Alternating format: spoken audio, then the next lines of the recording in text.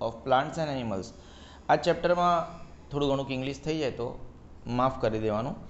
સૌથી પહેલાં આપણે ભણીશું વન નાબૂદી અને તેના કારણો. ડિફોરેસ્ટેશન એન્ડ ઇટ્સ કોઝિસ બરાબર છે?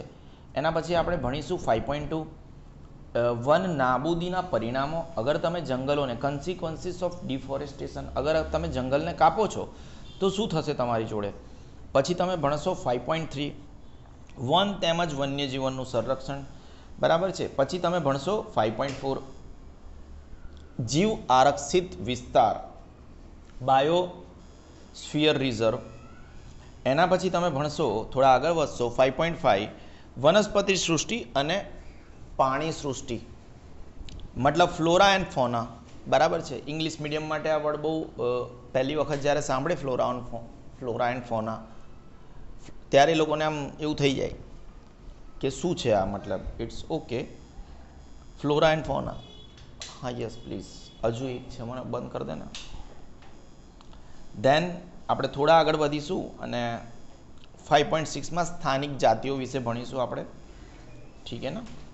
અને આગળ વધીએ. ફાઇવ પોઈન્ટ સેવનમાં વન્યજીવ અભયારણ્ય વાઇલ્ડલાઇફ સેન્ચુરી કહેવાય, રાષ્ટ્રીય ઉદ્યાન ફાઇવ પોઈન્ટ એટ બરાબર છે. અને થોડા આગળ વધીશું. તો ધીમે ધીમે ધીમે ધીમે ફાઇવ પોઈન્ટ નાઇનમાં રેડ ડેટા બુક છે, એના વિશે એક્ઝામમાં આવતું હોય છે, સ્થળાંતર કાગળનું પુનઃચક્ર. બરાબર છે? પછી પુનઃવનીકરણ રિફોરેસ્ટેશન અને બસ તમારું ચેપ્ટર પૂરું. શું છે બેટા? શું રહી ગયું? આવી ગયું? અરે, રહી ગયું એ તો વાંધો નહીં. આપણે આખું નાખું ચેપ્ટર ભણવાનું છે. અને તમારે જ્યારે પણ અપર સ્ટાન્ડર્ડમાં ભણો ને, જેમ જેમ ભણવાનું શરૂ કરો, અને સાયન્સમાં કે કોઈ પણ ચેપ્ટરમાં તમારે સાયન્સમાં મેજોરિટી સાયન્સ અને મેથ્સમાં જ્યારે વધારે માર્ક્સ લાવવા હોય ને, તો તમને ખબર છે પાછળનું પોર્શન હોય. જેવી રીતે ફાઇવ પોઈન્ટ વનથી હમણાં ના શરૂ કર્યું બોલવાનું. એમ five point eight five point nine five point ten five point eleven five પાછળનો જે પોર્શન હોય ને, એમાંથી વધારે ક્વેશ્ચન આવે હંમેશા. જે મોટા મોટા ક્વેશ્ચન આવે ને ડી સેક્શનવાળા કારણ કે ત્યાં વધુ મોટું મોટું વધારે હોય. જેવી રીતે મેં નાઇટ્રોજન ચક્ર ને એવું બધું નહીં ભણ્યા. તો હંમેશા પાછળવાનો અને પાછળવાળો પોર્શન આવવા માટે તમારે સ્ટાર્ટિંગનું પોર્શન વ્યવસ્થિત રીતે ભણવો જરૂરી હોય બાળકો. સમજો છો? તો બાળકોને હંમેશા કન્ફ્યુઝન રહેતું હોય છે કે પેપર કેવી રીતે તો પાછળનો પોર્શન કરી નાખો, હંમેશા તમે સારા માર્ક્સ લાવશો. બરાબર છે? આપણે ભણવાનું શરૂ કરીશું. બરાબર છે? Yes this is Sigma Institute of Excellence આપણે ધોરણ સાતમાં જોયું કે બુજો તેમજ પહેલીએ પ્રોફેસર અહેમદ તેમજ ટીબુ સાથે જંગલનું ભ્રમણ કર્યું હતું. ઠીક છે? પ્રોફેસર ટીબુ આવું બધું ના આવે હો એક્ઝામમાં કે આપણે પહેલીને બુજો કયા પ્રોફેસર જોડે ફરવા ગયા હતા. હવે જે આવું પેપરમાં પૂછે છે. હા, ઠીક છે. સોરી હા, ઠીક છે, પરંતુ એવું ક્યારેય આવે નહીં. અને કોઈ પેપરમાં આવું પૂછે છે ઇન્ટ્રોડક્શનમાંથી આવી ફિલ ઇન ધ બ્લેન્ક્સ તો એ લોકો મૂર્ખા છે. એને પેપર કાઢતા નથી આવડતું. તે પોતાના સહાધ્યાયો સાથે, સહાધ્યાયો મતલબ સાથે સહાધ્યાયો મતલબ સાથે ભણવાવાળા સાથે તેમના અનુભવો વહેંચવા બહુ ઉત્સુક હતા, કારણ કે આ લોકો વેકેશનમાં ફરવા ગયા હશે અને એના પછી ક્લાસમાં આવે એટલે બધાને કે, અરે, હું તો અહીં ગયો હતો, હું તો અહીં ગઈ હતી હે ને ગર્લ કાઇન્ડ ઓફ થિંગ્સ વર્ગના બીજા વિદ્યાર્થીઓ પણ પોતપોતાના અનુભવ બતાવવા અત્યંત ઉત્સુક હતા અને એમાંથી એકાદ છોકરા બિચારા કશે ના ગયા હોય, ઘરે ને ઘરે જ લૂડો રમતા હોય, એ લોકો બીજાને શું કહે કે અમે અહીં ગયા હતા. આજકાલ તો તમને ખબર છે ને, કોમ્પ્યુટર ફ્રી ફાયર લૂડો રમવા મળી જાય એટલે છોકરાઓ ખુશ બેટા. કારણ કે તેમાંથી કેટલાક ભરતપુર આહાહા, અભયારણ્ય. હવે તમારે આ ચેપ્ટરમાં એ પણ જાણવાનું છે કે અભયારણ્ય શું છે. બરાબર છે? અત્યાર સુધી તમે જ્યારે રાષ્ટ્રીય ઉદ્યાન આવતું હતું, અભયારણ્ય આવતું હતું, તમ, તમને એટલી જ નહોતી એ ખબર પડતી કે અભયારણ્ય કેમ અલગથી નામ છે? બરાબર છે? બાયોસ્ફિયર રિઝર્વ બરાબર છે? એ કેમ અલગ છે? અને રાષ્ટ્રીય ઉદ્યાન કેમ અલગ છે? અને આઠમા ધોરણમાં જેને વ્યવસ્થિત સ્ટડી કરી છે અને દસમા ધોરણ જ્યારે એસએસની બુક ભણતા હશે, આ વસ્તુ પછી એસએસમાં રિપીટ થાય છે, અગર સેમની સેમ બુક રહેશે તો. તો એટલીસ્ટ તમને ટીચર જ્યારે સવાલ પૂછશે, ચલ બેટા, મને કહે તો રાષ્ટ્રીય ઉદ્યાન એટલે શું? રાષ્ટ્રીય ઉદ્યાન અને અભયારણ્ય વિશેનો ડિફરન્સ બતાવે તો તમને એટલીસ્ટ ખબર હશે, વ્યવસ્થિત ભણેલા હશો તો. યોગ્ય? અને જે વ્યક્તિ એકથી નવમાં વ્યવસ્થિત ભણેલો છે ને, એનું દસમું ધોરણ સારું જ જાય. બરાબર છે? કેટલાક કાઝીરંગા દેખો. અભયારણ્ય અલગ છે, રાષ્ટ્રીય ઉદ્યાન અલગ છે. રાષ્ટ્રીય ઉદ્યાન એટલે નેશનલ પાર્ક. બરાબર છે? કોઈ ડાઉટ છે? નથી. પછી લોકચાવ વન્યજીવન અભયારણ્ય. અભયારણ્ય અલગ, રાષ્ટ્રીય ઉદ્યાન અલગ. અહીંયા તમે નવા નવા નામો તમારી સામે આવવા લાગ્યા. કાઝીરંગા. આ કાઝીરંગા જે રાષ્ટ્રીય ઉદ્યાન છે, નેશનલ પાર્ક છે, દસમા ધોરણના મેપ મેપ આવે ને? એમાં આઈએમપી છે. હા, તમે આઠમા ધોરણમાં છો. પણ તમને કહું છું, આ બધું ભણવાનું કેટલું મહત્વ છે? અત્યારે વ્યવસ્થિત ભણેલા હોય તો દસમા ધોરણમાં કેવું કામ લાગે? બરાબર છે. આ લોકચાવ વન્યજીવ અભયારણ્ય, એ ફરીથી દસમા ધોરણમાં આવશે. ગ્રેટ નિકોબાર જીવાવરણ આરક્ષિત ક્ષેત્ર, આને બાયો, જીવાવરણ આરક્ષિત ક્ષેત્ર, આ બાયોસ્ફિયર રિઝર્વ છે. રાષ્ટ્રીય ઉદ્યાન અલગ, બરાબર છે. અભયારણ્ય અલગ અને જીવાવરણ આરક્ષિત ક્ષેત્ર અલગ, બધું અલગ અલગ છે. અને જે આ ગ્રેટ નિકોબાર જીવાવરણ આરક્ષિત ક્ષેત્ર છે, એ પણ દસમા ધોરણમાં તમારે મેપમાં આવશે. ઠીક છે એસએસમાં તથા વાઘ સંરક્ષિત વિસ્તાર. આ બધું જો બધું લોકો અલગ અલગ જગ્યાએ ગયા હતા. બરાબર છે? આ દીદી આયા. કોણ છે બેટા? પીડી. કોણ છે બેટા? પહેલી દીદી. કોઈ ડાઉટ છે? નથી. રાષ્ટ્રીય ઉદ્યાનો, વન્યજીવ અભ્યા અભયારણ્યો અને જૈવ આરક્ષિત ક્ષેત્રો બનાવવાનો ઉદ્દેશ શું છે? સીધો પોઈન્ટ પર જ આવી ગયા લોકો. સીધો તમને સીધો સવાલ પૂછ્યો. બરાબર છે? હવે આના વિશે ચર્ચા આપણે અત્યારે ના કરીને જેમ જેમ ધીરે ધીરે ચેપ્ટરમાં આગળ ભણીશું, તો તમને બધું ખબર પડવા લાગશે કે એના ઉદ્દેશ શું છે. બરાબર છે? આપણે જે પોઈન્ટ ટુ પોઈન્ટ છે, મેં તમને કીધું ફાઇવ પોઈન્ટ વનથી આપણે ફાઇવ પોઈન્ટ ટ્વેલ્વ સુધી જવાનું છે, તો આપણે અત્યારનો સીધો મુદ્દો ચાલુ કરીએ ફાઇવ પોઈન્ટ વન આનો સવાલ આપણને જાતે જ મળી જશે, તમે જાતે એનો આન્સર આપવા માટે લાયક થઈ જશો. વન નાબૂદી અને તેના કારણો. આપણને ખબર છે આપણે વન કેવી રીતે નાબૂદ થાય? આપણે લાકડા કાપીએ છીએ લાકડા એટલે કે ટ્રીઝ બરાબર છે. જી ધીમે ધીમે કાપતા જશો ખેતી કરતા જશો. પહેલાંના જમાનામાં ઝૂમ બરાબર ઝૂમ ખેતી થતી હતી. હું કહું છું ઝૂમ એગ્રીકલ્ચર થતું હતું. બરાબર છે. હું એને ઝૂમ બરાબર ઝૂમ કહું છું. ઝૂમ એગ્રીકલ્ચર એમાં કેવું હોય? પહેલાં એક પ્ર કોઈ પણ પ્રકારનો જંગલનો એરિયા કાપવાનો. ઝૂમ ખેતી. નામ સાંભળ્યું છે તમે તો એમાં શું એસએસમાં આવતું હતું ને? આવે છે. તો એમાં શું કરો? તમે જંગલોને કાપો. શું કરવાનું? જંગલને કાપવાનું, બાળી નાખવાના. કાપ્યું કાં તો બાળી નાખ્યા. એને નીચેનું મતલબ લેન્ડ સમતલ થઈ ગઈ. એના પછી ત્રણ વર્ષ સુધી એગ્રીકલ્ચર કરવાનું. અને એના પછી શું થાય? કારણ કે એ જમાનામાં ઝૂમ ખેતીમાં તમે પેલું પેસ્ટિસાઇડ્સને યુઝ નહીં કરતા. ત્રણ વર્ષ સુધી ખેતી કરી તો એના એની અંદર જે ન્યુટ્રિયન્ટ્સ હતા, એ ખતમ થઈ ગયા. એના પછી એ વિસ્તારને એબેન્ડન એટલે છોડી દેવાનો અને આગળ વધવાનું. બીજી જગ્યાએ સેમ ખેતી, એટલે ઝૂમ એગ્રીકલ્ચર કહેવાય. શિફ્ટિંગ ખેતી પણ કહેવાય એને. યોગ્ય? બરાબર છે. તમારે આવે છે એસએસમાં બધું? યોગ્ય. આપણી પૃથ્વી પર આપણે એમેઝોનના જંગલ છે. એ આપણા ફેફસા છે. અને હવે આજકાલ આપણે એમેઝોનના જંગલોને જ કાપીએ છીએ. આ તમે હમણાં આટલા છેલ્લા એક અઠવાડિયા પહેલાં બધો ખતરનાક વરસાદ જોયો. કેમ જોયું? આ બધી સિસ્ટમ આપણે બરબાદ કરી રહ્યા છે. આપણને જ ભારે પડશે. જુઓ આગળ શું શું થાય છે. આપણી પૃથ્વી પર વિવિધ પ્રકારની વનસ્પતિઓ તેમજ પ્રાણીઓ જોવા મળે છે. આપણે એક આપણે પણ, મનુષ્ય પણ એક પ્રકારનું પ્રાણી છે. એકદમ નોર્મલ વાક્ય છે, લોકોને એક્ઝામમાં પણ લખતા નથી આવડતું કે આપણી પૃથ્વી પર વિવિધ પ્રકારના વનસ્પતિઓ અને પ્રાણીઓ જોવા મળે છે અને આ લાઈનને સો વખત રટવો મારે છે. તો એને શું મતલબ એ વ્યક્તિનો ભણવાનો? તેઓ માનવ જાતિની સુખાકારી માટે તેમજ અસ્તિત્વ ટકાવી રાખવા માટે વેરી ગુડ કેવી રીતે સર એક્સપ્લેન કરો. શું કહે છે અહીંયા? ચલો વિવિધ પ્રકારની વનસ્પતિઓ છે, એ માનવ જાતિની સુખાકારી અને અસ્તિત્વ ટકાવી માટે સુખ, સુખાકારી મતલબ સુખ. યોગ્ય હશે કદાચ. આપણે વનસ્પતિઓનો ઉપયોગ કરીએ છીએ જે વનસ્પતિનો ઉપયોગ નહીં કરતા એનું લાકડું આપણને કામ લાગે છે. ઘણા બધા લેવલ પર. પણ પ્રાણીઓ કેવી રીતે? પ્રાણીઓ? શું આપણે પ્રાણીઓનો ઉપયોગ નથી કરતા? ગાયનું, પછી ભેંસનું, આ બધાનું દૂધ, પછી ઘણો બધો ઉપયોગ કરીએ છીએ આપણે. અલગ અલગ પ્રાણીઓનો અલગ અલગ તરીકે ઉપયોગ નથી કરતા. તો આ જે આ જે વિવિધ પ્રકારની વનસ્પતિઓ અને પ્રાણીઓ જોવા મળે છે બેટા બેટા ભણવામાં ધ્યાન આપ.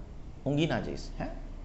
હા પ્લીઝ પ્લીઝ આ જે વિવિધ પ્રકારની વનસ્પતિઓ જોવા મળે છે અને પ્રાણીઓ જોવા મળે છે એ માનવ જાતિની કોણી માનવ. જાતિની સુખાકારી માટે. સુખા આ હું જે અહીંયા લખું છું બરાબર છે, એ તમે ઘરે જઈને વીડિયો જોશો તો તમને વધારે ખબર પડશે. સુખ આપેલું નહીં સાઈડ પર લખતો હતો. સુખાકારી, તેમજ તેનું અસ્તિત્વ ટકાવવા માટે. શું ટકાવવા માટે બેટા? અસ્તિત્વ ટકાવવા માટે. બહુ જરૂરી છે. ખબર પડી? આપણી પૃથ્વી પર વિવિધ પ્રકારની વનસ્પતિઓ તેમજ પ્રાણીઓ જોવા મળે છે. આપ- આપણી પૃથ્વી પર વિવિધ વિવિધ ડિફરન્ટ ડિફરન્ટ પ્રકારની વનસ્પતિઓ તથા પ્રાણીઓ જોવા મળે છે. તેઓ માનવ જાતિની સુખાકારી, એટલે સુખ માટે તેમજ અસ્તિત્વ ટકાવી રાખવા માટે આવશ્યક એટલે જરૂરી છે. આજે આ સજીવોના અસ્તિત્વ માટે વન નાબૂદી એક મોટો ખતરો થઈ ગયો છે. હવે આજે આપણે સજીવો છે. સજીવો. હવે કોઈ પણ સજીવ, જેવી રીતે વનસ્પતિ છે એ પણ એક સજીવ છે, કોઈ પણ પ્રાણી એ પણ સજીવ છે, તો આ આજે આ સજીવોના અસ્તિત્વ માટે અગર વન નાબૂદી કરે, વન નાબૂદ કરે તો ટ્રીસ એ પણ એક સજીવ છે. એટલે એમના અસ્તિત્વ માટે ખતરો થયો. ત્યાં વાઘ રહેતો હોય તો એના અસ્તિત્વ માટે ખતરો થઈ ગયો હોય. બરાબર છે. ત્યાં ગેંડો રહેતો હોય તો પાડો. બરાબર છે. મતલબ કોઈ પણ સજીવ જ્યાં રહે છે એનું ઘર તમે ઉજાડો, તો ખતરો તો થાય જ. તો આ જેટલા પણ સજીવો છે, એમના અસ્તિત્વ માટે, જીવન માટે વન નાબૂદી એક બહુ જ ખતરો બની ગયો છે. આપણે જાણીએ છીએ કે વન નાબૂદી એટલે, વન નાબૂદી એટલે વનનો નાશ. વન નાબૂદી એટલે વનનો નાશ કરીને પ્રાપ્ત જમીનનો અન્ય કાર્યો માટે ઉપયોગ કરવો. આપણે વનનો નાશ શેના માટે કરીએ છીએ? વન નાબૂદી એટલે વનનો નાશ. અને વનનો નાશ કરીને જે આપણે જમીન પ્રાપ્ત કરીએ છીએ, જેવી રીતે આપણે આપણે ઝૂમ એગ્રીકલ્ચરની વાત કરી, ઝૂમ ખેતીની વાત કરી, બરાબર છે? પહેલાં તો વનને નાબૂદ કર્યો, પછી એમાંથી પ્રાપ્ત કરેલી જમીનનો ખેતી માટે ઉપયોગ કર્યો. એવું પણ થઈ શકે કે વન નાબૂદ કરીને આપણે ત્યાં કોઈ ઇન્ડસ્ટ્રી બનાવી. એવું પણ હોઈ શકે વન નાબૂદ કરીને ત્યાં કોઈ રસ્તા બસ્તા બનાવ્યા તમને ખબર પડે છે ને? યોગ્ય? વન નાબૂદી એટલે વનનો નાશ કરીને જે પણ જમીન પ્રાપ્ત થઈ, આસમાન તો પ્રાપ્ત થશે નહીં. વનને કાપીશું તો જમીન જ પ્રાપ્ત થશે, એકદમ નોર્મલ છે. એનો આપણે શેના માટે ઉપયોગ કરીશું? અન્ય કાર્યો માટે ઉપયોગ કરવો. વનના, વનમાં વૃક્ષોની કાપણી નીચેના ઉદ્દેશ્યથી કરવામાં આવે છે. વનમાં તમે વૃક્ષો શું કામ કાપો છો? નીચે પ્રકારના ઉદ્દેશ માટે કાપશો. પેલાને એક ચીમટો ભણ ને એ ક્યારનો બગાસા ખાય છે. જોરથી ભણજે. ભણ. હા, બસ. હવે, ખાસો બગાસા ભાઈ. આપણે વનમાં વૃક્ષોની કાપણી શેના માટે કરીશું બેટા? નીચેના ઉદ્દેશ માટે કરીશું. પહેલું તો ખેતીવાડી માટે જમીન પ્રાપ્ત કરવા. બેટા, ખેતીવાડી માટે જમીન પ્રાપ્ત કરવા. ઘર તેમજ આપણે કીધું ને, કારખાના એટલે કોઈ ફેક્ટરી યા તો ત્યાં આપણે ઘર બનાવવું છે, યા તો આપણે કારખાનાઓનું નિર્માણ કરવું છે. લાકડું, ફર્નિચર બનાવવા. કાં તો પછી બળતણ એટલે આખું ચેપ્ટર ભણી ગયા. લાકડું બાળીને આપણે કંઈક કામ કરવું છે. બરાબર છે? આપણે વૃક્ષો, વન, વનમાં વૃક્ષોની કાપણી નીચેના ઉદ્દેશ્યથી થાય છે. ખેતીવાડી માટે જમીન પ્રાપ્ત કરવા ઘર તેમજ કારખાનાઓનું નિર્માણ કરવા, ફર્નિચર બનાવવા કે બળતણ માટે લાકડાનો ઉપયોગ કરવા. યાદ રહેશે કે નહીં રહે? યોગ્ય? ધ્યાન રાખો ને તો મારામારી થઈ જશે. દાવાનળ તેમજ ભયંકર દુષ્કાળ પણ વન નાબૂદીના કેટલાક કુદરતી કારણો છે. પહેલાં આપણે એક પ્રાકૃત, આપણા આપણા માનવ સર્જિત કારણો જોયા. બરાબર છે? ભારી વર્ડ યુઝ નહીં કર્યો મેં. કુદરતી કારણ. દાવાનળ આવી ગયો. દાવાનળ તેમાં સમ- સમજો છો ને? દાવાનળ ફાટે તો આખું જંગલ ખતમ થઈ જાય. ભયંકર દુષ્કાળ, પાણી જ નહીં પડતું તો આખું જંગલ. ભયંકર દુષ્કાળ એટલે બે ત્રણ વર્ષ સુધી વરસાદ જ નહીં પડ્યો. તો ભયંકર દુષ્કાળના લીધે પણ વન નાબૂદી થઈ શકે છે. કેટલાક કુદરતી કારણ છે. પ્રવૃત્તિ પાંચ પોઈન્ટ એક. તમારી યાદીમાં વન નાબૂદીના અન્ય કારણોને નોંધો તથા તેને કુદરતી તેમજ માનવ આપણે વર્ડ યુઝ કર્યો ને હમણાં. તમે અલગ અલગ કારણો શોધીને આવો. હે ને? કોઈને પૂછો કે વન, મમ્મીને પૂછો, પપ્પાને પૂછો, તમારા ટીચરને પૂછો, મને પૂછો. આ તમારી પ્રવૃત્તિ છે, આ મારી પ્રવૃત્તિ નથી. બરાબર છે? પ્રવૃત્તિ કરતાં કરતાં તમે મને પૂછી શકો છો કે, સર, એકાદ બે કારણ બતાવો. બરાબર છે? પછી એનું લિસ્ટ બનાવો. એક મમ્મીને પૂછો, એક પપ્પાને પૂછો, એક પડોશવાળા અંકલને પૂછો, એક પડોશવાલી આંટીને પૂછો, બધાને પૂછો, સ્કૂલના ટીચરને પૂછો. સમજણ પડતા છે? અને લિસ્ટ બનાવીને પછી એ ડિસાઇડ કરો, આ કુદરતી કારણ છે કે એક માનવ સર્જિત કારણ છે? એમાં એને વર્ગીકૃત કરવાનું છે. બરાબર છે? આપણે ફાઇવ પોઈન્ટ ટુ વન નાબૂદીના પરિણામો. અગર વન નાબૂદી કરો છો, તો શું શું પહોંચશે? જો, સમજો. સૌથી પહેલે તો, અગર વન નાબૂદી થશે, તો કાર્બન ડાયોક્સાઇડનું પ્રમાણ વધવાનું જ છે. શું થશે? કાર્બન ડાયોક્સાઇડનું બરાબર છે. પછી જેટલું તમારે નીચે ભણવામાં આવતું હશે, કારણ કે એ બધું બહુ બોલી શકું છું, બરાબર છે. જેટલું આવતું હશે, એ લેવલ પર હું ભણી લઈશ. પહેલી તેમજ બુજોએ વન નાબૂદીના કારણોના પરિણામોને યાદ કરવાનો પ્રયાસ કર્યો. વન નાબૂદીના જે કારણ હતા, બરાબર છે, એને યાદ કરવાનો પ્રયાસ કર્યો. તેમને યાદ છે કે વન નાબૂદીથી પૃથ્વી પર તાપમાન તેમજ પ્રદૂષણના સ્તરમાં વધારો થાય છે. યોગ્ય છે. અગર વન નાબૂદી થાય છે તો પૃથ્વીનું તાપમાન કેમ વધે છે? બરાબર છે, દેખો. પહેલાં તો એક સેકન્ડ આ સૂરજ છે. બરાબર છે? વીડિયો થોડો જોઈ લેજો. આ અર્થ છે, પૃથ્વી. બરાબર છે? તો પૃથ્વીથી જ્યારે પણ આવી રીતે રે આવી સનલાઇટ સૂર્યની કિરણો અને એટમોસ્ફિયરમાં કાર્બન ડાયોક્સાઇડ આને ગ્રીન હાઉસ ગેસ કહેવામાં આવે. શું કહેવામાં આવે? લગભગ એક વખત તમને આ ભણાયેલું છે મેં. ગ્રીન હાઉસ ગેસ ભણાયું છે? તો આ જે ગ્રીન હાઉસ ગેસનું શું કામ હોય? આ જે કિરણો આવે એ અથડાઈને પાછા જઈ રહ્યા છે. પૃથ્વી પર અથડાઈને જે એનર્જી આપણે સનલાઇટને એબ્ઝોર્બ નહીં કરી, જેવી રીતે સોલાર પેનલ પર પડી તો એબ્ઝોર્બ થઈ ઘણી બધી ઘણી બધી પાછી જતી રહી. ટ્રીસને જેટલી લેવાની હતી એ પડી ગઈ. હવે આ દિવાલ પર પડે એ થોડી ને ત્યાં રહેશે તો પાછી જતી રહી. તો એ જે પાછી જઈ રહી છે, અગર કાર્બન ડાયોક્સાઇડના રસ્તામાં આવી જશે તો એ ત્યાં એની હીટ ગરમી એબ્ઝોર્બ થઈ જશે. શું થઈ જશે? એને ગરમીને પકડી લેશે ને કિરણ આગળ નીકળી જશે. એ જે સૂર્યની રેની અંદર, સૂર્યકિરણ છે. બરાબર છે? સૂર્યકિરણની અંદર જેટલી પણ ગરમી છે ગરમી સમજો છો ને? એ ગરમી કાર્બન ડાયોક્સાઇડના કોન્ટેક્ટ તો એ ગ્રીનહાઉસ ગેસ છે એટલે એને પકડી લેશે. બરાબર છે? એ પકડી લેશે ને કિરણ જતું રહેશે.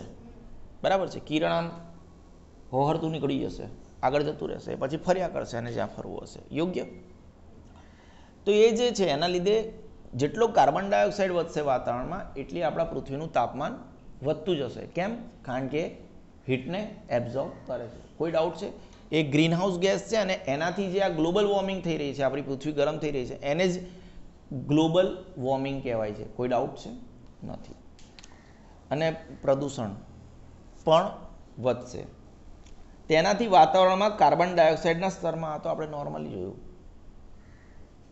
તેનાથી વાતાવરણમાં કાર્બન ડાયોક્સાઇડના સ્તરમાં વધારો થાય છે. ભૂગર્ભ જળના સ્તરમાં ઘટાડો થાય છે. એવું કેમ? ભૂગર્ભ જળના સ્તરમાં ઘટાડો થાય છે. વરસાદ પડશે નહીં. બરાબર છે? ઓછો થશે. અને પાણીનું જે પેલું ઉપરની ધોવાણ ને ઘણું બધું છે. બરાબર છે? ભૂગર્ભ ભૂગર્ભ એટલે જમીનની નીચેનું જે સ્થળ છે.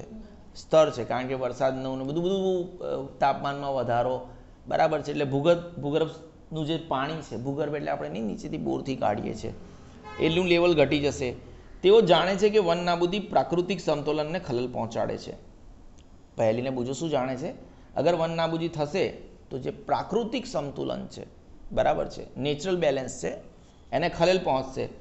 પ્રોફેસર અહમેદે તેમને કહ્યું હતું કે જો વૃક્ષેની આ પ્રકારે કાપણી ચાલતી રહી, તો વરસાદમાં તેમજ ભૂમિની ફળદ્રુપતામાં, વરસાદમાં પણ ઘટાડો થશે અને જમીનની ફળદ્રુપતામાં પણ ઘટાડો થાય છે. હું રિપીટ નહીં કરતો. આગળ વધુ ને? કે પેરેગ્રાફ ફરીથી સમજાવું? વધુ, ઉપરાંત તેનાથી પૂર તેમજ કાં તો પૂર આવશે, કાં તો દુષ્કાળ આવશે જેવી કુદરતી આફતની સંભાવના વધી જાય છે. ભુજો સાહેબ કશું કહે છે, વન નાબૂદીથી એક બાજુ વરસાદમાં ઘટાડો થાય છે, તો બીજી બાજુ પૂર આવવું કેવી રીતે સંભવ છે? સમજો, જ્યારે પણ વન નાબૂદી થાય, તો તમે પ્રાકૃતિક બેલેન્સ હતું, એને ઘટાડી દીધું. હવે જ્યારે બેલેન્સ ઉપર નીચે થઈ જાય, તો કશું પણ થઈ શકે છે. સમજણ પડતા છે? ક્યારેક વધારે વરસાદ પણ આવી જાય, ક્યારેક ઓછો વરસાદ પણ આવી જાય. એના લીધે ક્યારેક સમુદ્રમાં ખતરનાક પ્રેશર પણ ક્રિએટ થઈ જાય, જેના લીધે હમણાં દસ પંદર દિવસ પહેલાં આપણે ગુજરાતમાં બહુ જ વરસાદ પડ્યો.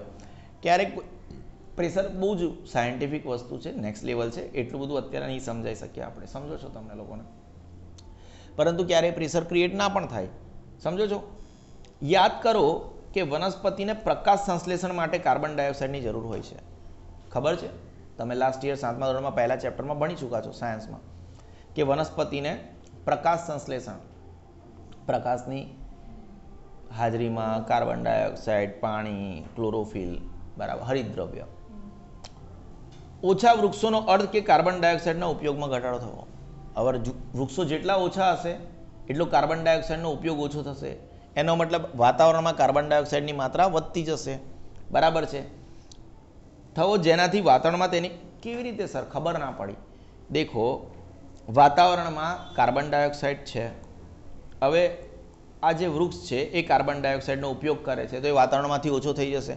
પરંતુ મેં આ વૃક્ષ કાપી નાખ્યું. તો આ જે વાતાવરણમાંનો જે કાર્બન ડાયોક્સાઇડ છે, એ વધતો જશે. યોગ્ય? બરાબર છે. આને આપણે શું કીધું? Global warming. મેં સમજાવ્યું તમને થોડી વાર પહેલાં. ગ્લોબલ વોર્મિંગ શું છે?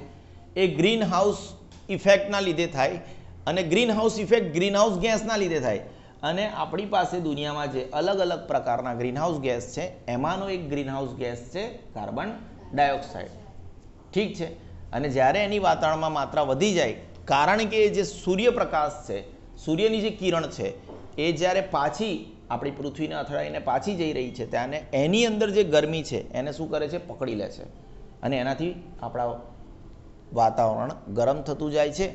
બરાબર છે? અને એને ગ્લોબલ ગ્લોબલ એટલે પૃથ્વી. ગ્લોબ એટલે પૃથ્વી, એટલે ગ્લોબલ વોર્મિંગ એટલે ગરમ, એટલે પૃથ્વીનો ગોળો ગરમ થઈ રહ્યો છે. કોઈ ડાઉટ બેટા? ખબર પડી તમને? જશે, કારણ કે કાર્બન ડાયોક્સાઇડ પૃથ્વી ધારા લખ્યું છે પરાવર્તિત. લખ્યું છે? લખ્યું છે? મેં શું સમજાયું? પરા, આપાત કિરણ? જુઓ, આ તમને ખબર પડે છે? આપાત કિરણ એટલે શું? સમજો, આ સૂર્ય છે, આ એક સરફેસ છે, તો આ એક કિરણ આપાત થયું ને અરે યાર, શું થયું આ? આ પાછું આવ્યું એટલે આને પરાવર્તિત કિરણ કહેવાય. આ બધું ખબર પડે છે તમને લોકોને? એક જે પરાવર્તિત કિરણ છે, સમજો પૃથ્વી ધારા પરાવર્તિત ઉષ્મીય કિરણોને. કેવા? ઉષ્મા હતી ને એની અંદર, કિરણની અંદર. આ બધું મેં સમજાવ્યું હમણાં થોડી વાર પહેલાં. શું થયું? એ જે કિરણ આવ્યું, સૂર્ય તરફથી, તો પૃથ્વી પર પડ્યું પછી પરાવર્તન થયું. તે પરાવર્તિત કિરણની અંદર જે ઉષ્મા છે, એને કાર્બન ડાયોક્સાઇડ શું કરશે? શોષી લેશે. કારણ કે એ તો ગ્રીન હાઉસ ગેસ છે. હવે એને શોષી લીધી. તો પૃથ્વી ધીરે ધીરે ગરમ થતે. પૃથ્વીના તાપમાનમાં વધારાથી જળચક્રનું સંતુલન ખોરવાય છે. આપણે જળચક્ર થોડી વાર પહેલાં કીધું બધું. તમે બેલેન્સ બગાડી નાખ્યું. અને વાતાવરણમાં વધારો થવાથી, તાપમાનમાં વાતાવરણના, વાતાવરણમાં તાપમાનના વધારાથી જળચક્ર તમે ભણ્યા છો આજ સુધી કે નથી ભણ્યા? ભણ્યા છો ને? તો જળચક્રનું સંતુલન ખોરવાય છે અને વરસાદમાં ઘટાડો થાય છે, જેના કારણે દુષ્કાળ એટલે દુષ્કાળ ખબર છે? યોગ્ય. તો આ આપણો ફાઇવ પોઈન્ટ ટુ વન નાબૂદીના પરિણામો આપણે ભણી રહ્યા છે. બરાબર છે? કોઈ ડાઉટ છે? ખબર પડતું જ હશે. ભૂમિના ગુણધર્મોમાં ફેરફારનું મુખ્ય કારણ વન નાબૂદી છે. ભૂમિના ગુણધર્મોમાં ફેરફાર. એટલે ભૂમિનું ગણ- ગુણધર્મ એટલે શું? સમજો. આપણે અમુક વખત એવું કહીએ છીએ કે એક કોઈ પણ જગ્યાની જમીન જમીન વિશે પણ તમે દસમા ધોરણમાં ભણશો, તો કોઈ જગ્યાની જમીન કાળી હોય, કોઈ જગ્યાની જમીન લાલ હોય, બરાબર છે, અલગ અલગ જમીન હોય. હવે જમીનના ગુણધર્મો કેવી રીતે ચેન્જ થાય? તો ભૂમિના ગુણધર્મોમાં ફેરફારનું મુખ્ય કારણ વન નાબૂદી છે. જ્યાં સુધી એક વનમાં અલગ અલગ જગ્યાએ ટ્રીસ છે, બરાબર છે તો અલગ અલગ જગ્યાએ ટ્રીસ છે. એનો મતલબ વરસાદનું સીધું પાણી જમીન પર નથી પડતું અને જમીનનું ધોવાણ થવાનું નથી.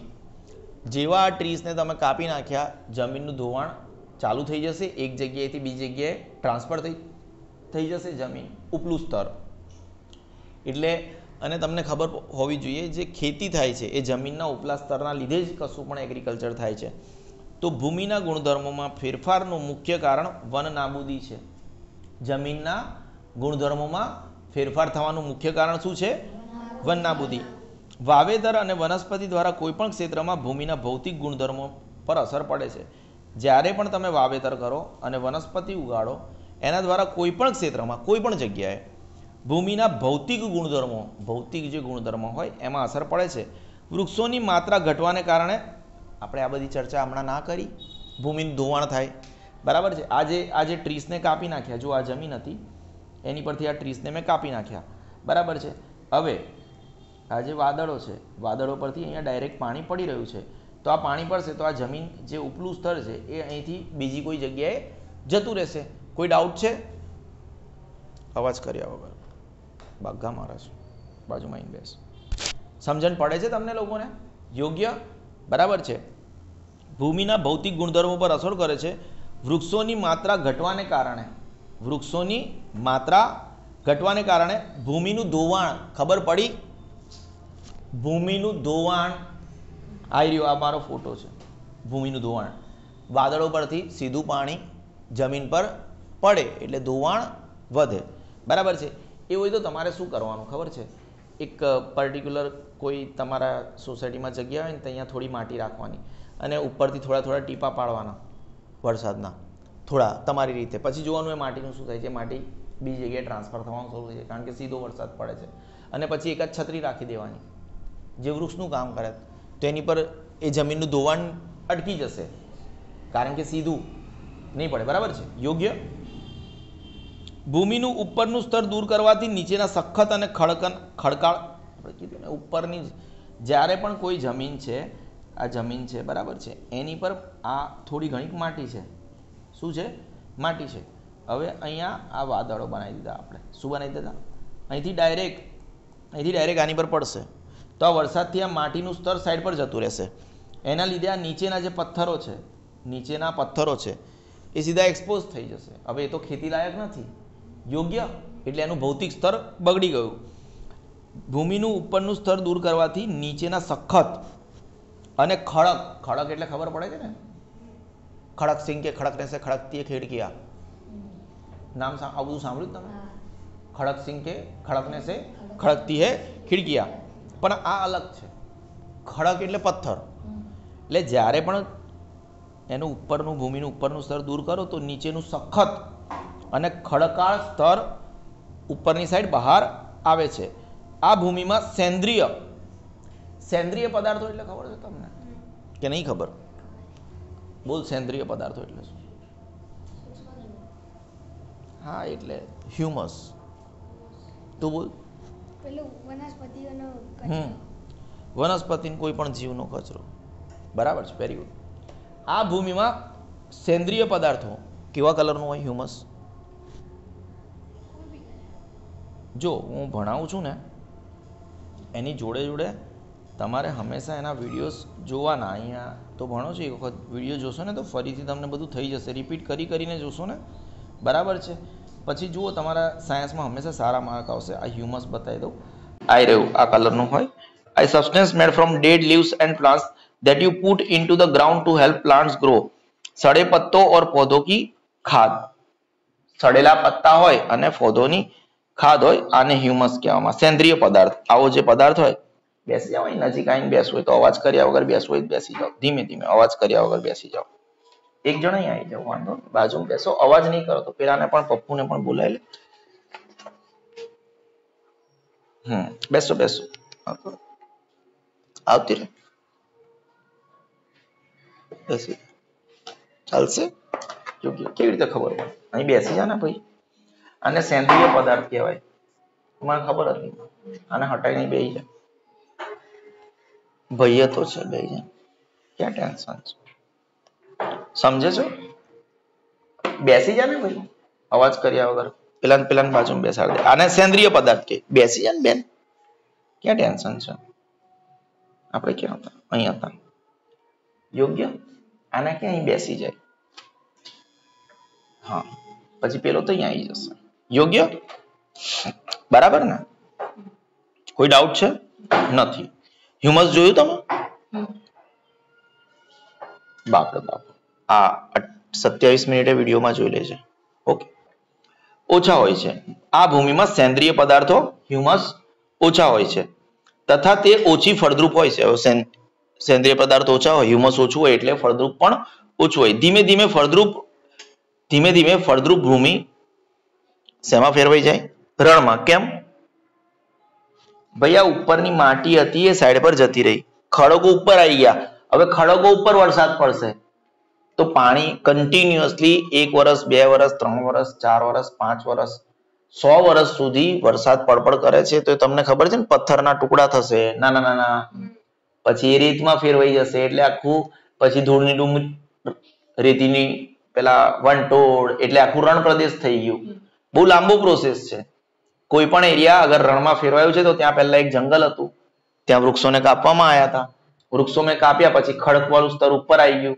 ખડકવાળું સ્તર ઉપર આવ્યું. એના પછી શું થયું? લાંબો. એક વર્ષમાં ના થાય આવું. બરાબર છે? હજારો વર્ષની પ્રોસેસ છે. જેને રણ નિર્માણ, તમને કે ડેઝર્ટિફિકેશન સમજાવો. રણ નિર્માણ સમજાવો. બરાબર છે? તો આ રહ્યો આપણો પેરેગ્રાફ સમજણ પડી? બરાબર. રટવા બેસશો તો સાયન્સ ક્યારે નહીં થાય. સ્ટેપ બાય સ્ટેપ સમજવાનું કે આ થયું તો કેમ થયું? આવું થયું. બરાબર છે? અને ખબર ના પડે તો ફરીથી મારી પાસે લઈને આવો. વન નાબૂદીના કારણે ભૂમિની જળ ધારણ આ પણ જોરદાર. આ શું છે? What is the meaning of જળ ધારણ ક્ષમતા? તમારે શું કરવાનું છે? એક ચારણી લેવાની. ચારણી ખબર પડે છે? મને લગભગ લખતા નહીં આવડે. ચારણી. જેમાં મમ્મી લોટ બોટ નહીં ચારતા. એવી ચારણી લેવાની. એવી બે લેવાની. શું લેવાની? એક ચારણી, બે ચારણી એક ચારણીમાં તમારે માટી લેવાની. શું લેવાનું? બીજી ચારણીની અંદર તમારે રેતી લેવાની. યોગ્ય? બેવને ફૂલ કરી દેવાની. ચારણી એટલે આવી હોય લગભગ. આમ ઉપરની તરફ આવી. યોગ્ય? ગોલ ગોલ હોય છે ને એને પેલું, એની ઉપર એક બોર્ડર પણ હોય. બેવ ફૂલ ભરી દેવાનું. હવે બેવ ફૂલ ભર દો એક માટી અને ચારણીથી. પછી બેવની અંદર એક એક ગ્લાસ પાણી નાખો. એક એક ગ્લાસ? હવે જુઓ એ ચારણીને હું ચૂકું શું આ માટી વાળું જે છે એની અંદરથી પાછો એક ગ્લાસ નીચેની સાઈડ નીકળી જાય છે કે રેતીમાં નીકળી જાય છે? રેતીમાંથી નીકળી જશે. બધું પાણી કારણ કે રેતીની અંદર જળ ધારણ ક્ષમતા નથી. પથ્થરો છે. રેતીની અંદર જળ ધારણ ક્ષમતા શું માટીમાં જળ ધારણ ક્ષમતા છે? છે. એટલે અગર તમે જંગલ કાપશો, અગર તમે જંગલ કાપશો વન નાબૂદી કરશો, તો ભૂમિની જળ ધારણ, જળને જે ધારણ કરવાની ક્ષમતા છે, શું એમાં ઘટાડો થશે? થશે. યોગ્ય? ભૂમિની ઉપરની સપાટીથી નીચેના સ્તરોમાં પાણી પ્રવેશવાની ક્રિયા, અનુસ્ત્રવણ દર ઓહો ઘટાડો થાય છે. યોગ્ય. કેવું? યોગ્ય.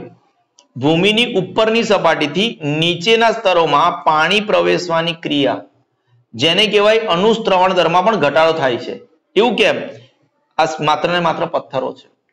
માત્ર ને માત્ર પથ્થરો છે. અને રેતી હશે તો એ રેતી નીચે તો પથ્થર હશે જ ને? ગમે તેમ. ઉપર તમને અગર નાના નાના, જેવી રીતે આપણી ચારણી હતી, ચારણીમાંથી તો તમે પાણી નાખ્યું તો નીચે નીકળી ગયું. બરાબર છે? કારણ કે ચારણીમાં નીચે કાણા હતા. પરંતુ અહીંયા આજે અગર આ એક આ લેયર જમીનનું લેયર છે. અહીંયા આ પોર્શનમાં શું છે? રેતી છે. પણ એની નીચે તો મોટા મોટા ખડક હશે ને? સમજો? તો એક લેયરમાંથી નીચે, એની નીચે એની નીચે પાણી જવાની પ્રક્રિયા બંધ થઈ જશે. શું લખ્યું છે? ભૂમિની ઉપરની સપાટીથી નીચેના સ્તરોમાં પાણી પ્રવેશવાની ક્રિયા. એને અનુસ્ત્રવણ દર કહેવાય. શું કહેવાય? ઉપરના સ્તરમાંથી નીચેના સ્તરમાં જે પાણી જવાની પ્રક્રિયા છે એને અનુસ્ત્રવણ દર કહેવાય. એમાં પણ શું થશે? ઘટાડો થશે. હું બહુ વ્યવસ્થિત રીતે સાયન્સ ડિટેલિંગ કરીને ભણાવું છું. આ વખતે મને પચાસમાંથી પચાસ માર્ક જોઈએ. ભૂમિના અન્ય ગુણધર્મો જેવા કે પોષક તત્વો. પોષક તત્વો વિશે આપણે ભણ્યા છે, જમીનમાં હોય. જમીનનું બંધારણ વગેરેમાં પણ વન નાબૂદીને કારણે ફેરફાર થાય છે. આગળ વધીએ. આપણે ધોરણ સાતમાં અભ્યાસ કર્યો કે વનમાંથી આપણે ઘણી પેદાશો પ્રાપ્ત થાય છે આપણને. તે ઉત્પાદનોની યાદી બનાવો. જો આપણે વૃક્ષોને સતત કાપતા રહીશું, તો શું આ ઉત્પાદનોની તંગીનો પણ સામનો કરવો પડશે? કાયદેસર કરવો પડશે. અને કરવો જ પડે. આપણે એને જ લાયક છે. વી ધ બેકાર પીપલ પ્રવૃત્તિ પાંચ point two five point two કેવી રીતે વન નાબૂદીથી વન્ય પ્રાણીઓ પણ પ્રભાવિત થાય છે? અલા ભાઈ, આ તારું ઘર છે. આ ઘરને હું તોડી નાખું. તો શું તને પ્રભાવ તું પ્રભાવિત નહીં થાય? તારું સ્કૂલનું બેગ તારા ચપ્પલ, બૂટ, ખાવાનું કઈ બનશે? તો તમે જ્યારે જંગલ કાપો છો, પછી તમને એવું પૂછે છે કે પ્રાણીઓ પ્રભાવિત થશે? નહીં થાય ભાઈ? આ કારણોની યાદી બનાવો અને પોતાના વર્ગમાં તેની ચર્ચા કરો. કરી લઈશું. કોઈ ડાઉટ છે? નથી. વન તેમજ વન્ય જીવનનું સંરક્ષણ. સંરક્ષણ એટલે બચાવવાની વાતો કરે છે. શું કરીએ છીએ આપણે? ક્યાં વાત છે? મનુષ્ય પણ બહુ યુનિક ચીજ છે. વન નાબૂદીની અસરો જાણ્યા પછી બાદ પહેલી અને બુજો ચિંતિત હતા. બહુ ચિંતા કરવા લાગ્યા. પ્રોફેસર અહેમદ જોડે પહોંચી ગયા. સર હમે કુછ બોલના હે, સર. તથા તેમને પૂછ્યું કે વન તેમજ વન્ય પ્રાણીઓને કેવી રીતે બચાવી શકાય? સર, બોલ દીજીએ ને, સર. ખબર પડી? જીવાવરણ પૃથ્વીનો એ ભાગ છે. જીવાવરણ. વાતાવરણ જલાવરણ આ બધું તમે ભણ્યા છો? ઓકે ભણ્યા જ હશો જીવાવરણ પૃથ્વીનો એ ભાગ છે જેમાં સજીવો વસવાટ કરે છે. શું નથી ખબર? જીવ આવરણ. જીવ વત્તા આવરણ. મતલબ ત્યાં સજીવો વસવાટ કરે. જલાવરણ જલ વત્તા આવરણ. મતલબ જળ છે. ત્યાં પણ સજીવો છે હો. યોગ્ય? યોગ્ય? અથવા જે જીવનને આધાર આપે તે જ જે એક સેકન્ડ હો બેટા એક સેકન્ડ બેટા ઓકે જૈવ વિવિધતાનો અર્થ કે પૃથ્વી પર જોવા મળતા વિભિન્ન સજીવો હવે જીતની જૈવ વિવિધતા વધારે એટલું સારું। જૈવ વિવિધતા બરાબર છે અગર તમે સાપને મારી નાખશો તો સાપ જેને ખાતો હશે એનું શું કરશો તમે નોળિયાને મારશો નોળિયો હું અગર ખોટી રીતે લખું તો કોઈ માફ કરી દેજો આપણને ગુજરાતી ઓછું આવડે છે। નોળિયાને મારી નાખશો તો સાપ કોણ ખાશે યોગ્ય અગર તમે હરણને મારી નાખશો, તો વાઘ શું ખાશે? વાઘને મારી નાખશો, તો હરણને કોણ ખાશે? બધાની જરૂરત છે. બરાબર છે? એકને મારશો, તો આખું સંતુલન બગડી જશે. સર, પણ હરણને મારવાની શું જરૂરત છે? અગર વાઘ હરણને નહીં ખાય, તો હરણ વનસ્પતિ ખાશે. હરણની સંખ્યા વધી જશે. આજે જે આપણે ભારતમાંથી બધા વાઘ મરી જશે, તો હરણની સંખ્યા વધશે, કારણ કે હરણને કોઈ મારીને ખાશે નહીં. બરાબર છે? તો હરણ એટલા વધી જશે કે એ લોકો હંમેશા વેજીટેબલ ખાતા રહેશે. તો તમારે જે સંતુલન છે એને જાળવી રાખવું પડશે. બરાબર છે? યોગ્ય? જૈવ વિવિધતાનો અર્થ એ છે કે પૃથ્વી પર જોવા મળતા વિભિન્ન સજીવો તેઓની વચ્ચે આંતર સંબંધ આંતર સંબંધ મેં તમને હમણાં જ સમજાયો. બધા સજીવોની વચ્ચે જે આંતર સંબંધ છે, વાઘ હરણ પર નિર્ભર કરે છે. હરણ કોની પર નિર્ભર કરે છે? વનસ્પતિ પર. બરાબર છે? જે ગરોડી તમારા ઘરમાં નહીં પડતી? ચીપકલી કહો છો લગભગ તમે એને એ કોની પર નાના નાના કીડા પર નિર્ભર કરે છે? સમજણ પડે તો? એકબીજાનો આંતર સંબંધ છે. અને તેઓનો પર્યાવરણ સાથેનો સંબંધ. યોગ્ય? પ્રોફેસર અહેમદે પહેલી અને બુજો તેમજ તેમના સહાધ્યાયો. સહાધ્યાયો મતલબ ક્યાં બેટા? એમની સાથે ભણવાવાળા વ્યક્તિઓ માટે જીવાવરણ આરક્ષક. દેખો આ બધા વર્ડ્સ આયા. જેના વિશે આપણે ચર્ચા કરતા હતા. એક હશે જીવાવરણ. જીવાવરણ આરક્ષિત. આરક્ષિત મતલબ એ લોકો માટે કોઈ ક્ષેત્ર આરક્ષિત ધીમે ધીમે બધી ખબર પડી જશે. પહેલો વર્ડ કયો આવ્યો? જીવાવરણ. આરક્ષિત ક્ષેત્ર. ની મુલાકાત માટેનું આયોજન કર્યું. હજુ એ લોકો નેશનલ પાર્ક નથી ગયા. બરાબર છે? નેશનલ પાર્ક નથી ગયા. બરાબર છે? રાષ્ટ્રીય ઉદ્યાન. હજુ અભયારણ્ય નથી ગયા અને તમને હજુ તો એ નથી ખબર ત્રણે ત્રણ નો ડિફરન્સ શું છે. થોડી વારમાં ખબર પડી જશે. તેના માટે તેઓએ પંચમઢી યાદ રાખજો. દસમા ધોરણમાં આવશે હા? કયું? પંચમઢી. બાજુમાં ફોટોમાં જોઈ લઈશું આપણે. પંચમઢી ક્યાં આવ્યું? યોગ્ય બેટા? તમારામાં મેપ નહીં આવે ટેન્શન ના લો. પંચમઢી જીવાવરણ આરક્ષિત ક્ષેત્રની પસંદગી કરી. તે લોકો ક્યાં ગયા? એ લોકોએ જીવાવરણ આરક્ષિત ક્ષેત્ર ભણ્યા. પણ કયું? પંચમઢી. મેપમાં જોઈ લઈશું. તે જાણે છે કે આ ક્ષેત્રની વનસ્પતિઓ અને પ્રાણીઓ ઉપરી હિમાલયની શૃંખલાઓ તેમજ નીચાણવાળા પશ્ચિમ ઘાટના વિસ્તારોના પ્રાણીઓ અને વનસ્પતિઓને સમાન છે. તે આ જે પંચમઢી જીવાવરણ આરક્ષિત ક્ષેત્ર છે, તેમાં જે પ્રાણીઓ અને વનસ્પતિઓ છે, એ કયા પ્રકારના છે? એ ત્યાં વનસ્પતિ અને પ્રાણીઓ જે હિમાલય હિમાલય માઉન્ટેન રેન્જ છે ને? હિમાલયની શૃંખલાઓ એટલે તમે માઉન્ટેન રેન્જ. ત્યાં પર્વતમાળા છે. હિમાલય આખું માઉન્ટેનની રેન્જ છે એને પર્વતમાળા કહેવાય. તો હિમાલયની જે ઉપલી શૃંખ ઉપર, નીચેનું લેવલ નહીં, જો આ માઉન્ટેન છે, તો આ બીજું માઉન્ટેન છે. તો ઉપરના લેવલ પર કયા ઉપરી ઉપરી હિમાલયની શૃંખલાઓ તેમજ નીચાણવાળા પશ્ચિમ ઘાટના. મતલબ અહીં નીચાણવાળા પણ, કયા? નીચાણ. પણ આ જે આ પંચમઢી જીવાવરણ આરક્ષક ક્ષેત્રની પસંદગી એમને એમ કરી, કારણ કે તે જાણતા હતા કે આ પર્ટિક્યુલર પંચમઢી ક્ષેત્રની વનસ્પતિઓ અને પ્રાણીઓ કોણા જેવા છે? હિમાલય શૃંખલાના નીચાણવાળા પશ્ચિમ ઘાટ પર અને ઉપરી હિમાલયની શૃંખલાઓ જેવા મળતા આવે છે. કોઈ ડાઉટ છે બેટા? નથી. પ્રોફેસર અહેમદને વિશ્વાસ હતો કે આ ક્ષેત્રની જૈવ વિવિધતા આગવી છે. તમે તમને જૈવ વિવિધતા સમજાઈ. અલગ અલગ સજીવોનું હોવું. તેઓએ વન કર્મચારી માધવજીને, માધવ, મારો પારાણી ઝૂલે કોઈ ડાઉટ છે નથી. તેઓએ માધવ કોણ હતો? વન કર્મચારી. જીવાવરણ આરક્ષિત ક્ષેત્રમાં વિદ્યાર્થીઓનું માર્ગદર્શન કરવા વિનંતી કરી. ગાઈડ કરો. ગાઈડ ખબર છે ને તમે કશે પણ ફરવા જાઓ તો એક ગાઈડ જોઈએ. તેઓએ જણાવ્યું કે જૈવિક મહત્વ ધરાવતા ક્ષેત્રનું સંરક્ષણ બચાવ એ આપણી રાષ્ટ્રીય પરંપરાનો ભાગ છે. આપણી એક રાષ્ટ્રીય પરંપરા છે કે કોઈ પણ જગ્યાએ જૈવિક મહત્વ હોય. બરાબર છે? એટલે કોઈ પણ એરિયા હોય ને. ત્યાં કોઈ પર્ટિક્યુલર જીવનું મહત્વ હોય. શું હોય? જેવી રીતે આપણે બેંગાલ ટાઈગર કહીએ છીએ. શું કહીએ છીએ? તો મતલબ કે આ ટાઈગર બેંગાલમાં જ જોવા મળે. અને બંગાળમાં આ ટાઈગરનું મહત્વ હોય. કોઈ પર્ટિક્યુલર ગીરનો સિંહ. સમજણ પડી હું શું કહેવા માંગુ છું? તો પર્ટિક્યુલર એરિયામાં પર્ટિક્યુલર જીવ. તેઓએ જણાવ્યું કે જૈવિક મહત્વ ધરાવતા ક્ષેત્રનું સંરક્ષણ. એટલે જેવી રીતે આપણું જે ગીર એરિયા છે, ગુજરાતનો ગીર, તે અગર એનું સંરક્ષણ કરીશું, કારણ કે જૈવિક મહત્વ ધરાવે છે. ગીરનો સિંહ, કેવું આમને નામ લીધું? તરત જ. Bengal tiger. બરાબર છે? તો જે જૈવિક મહત્વ ધરાવે છે, એક ક્ષેત્રનું સંરક્ષણ. સંરક્ષણ એટલે શું?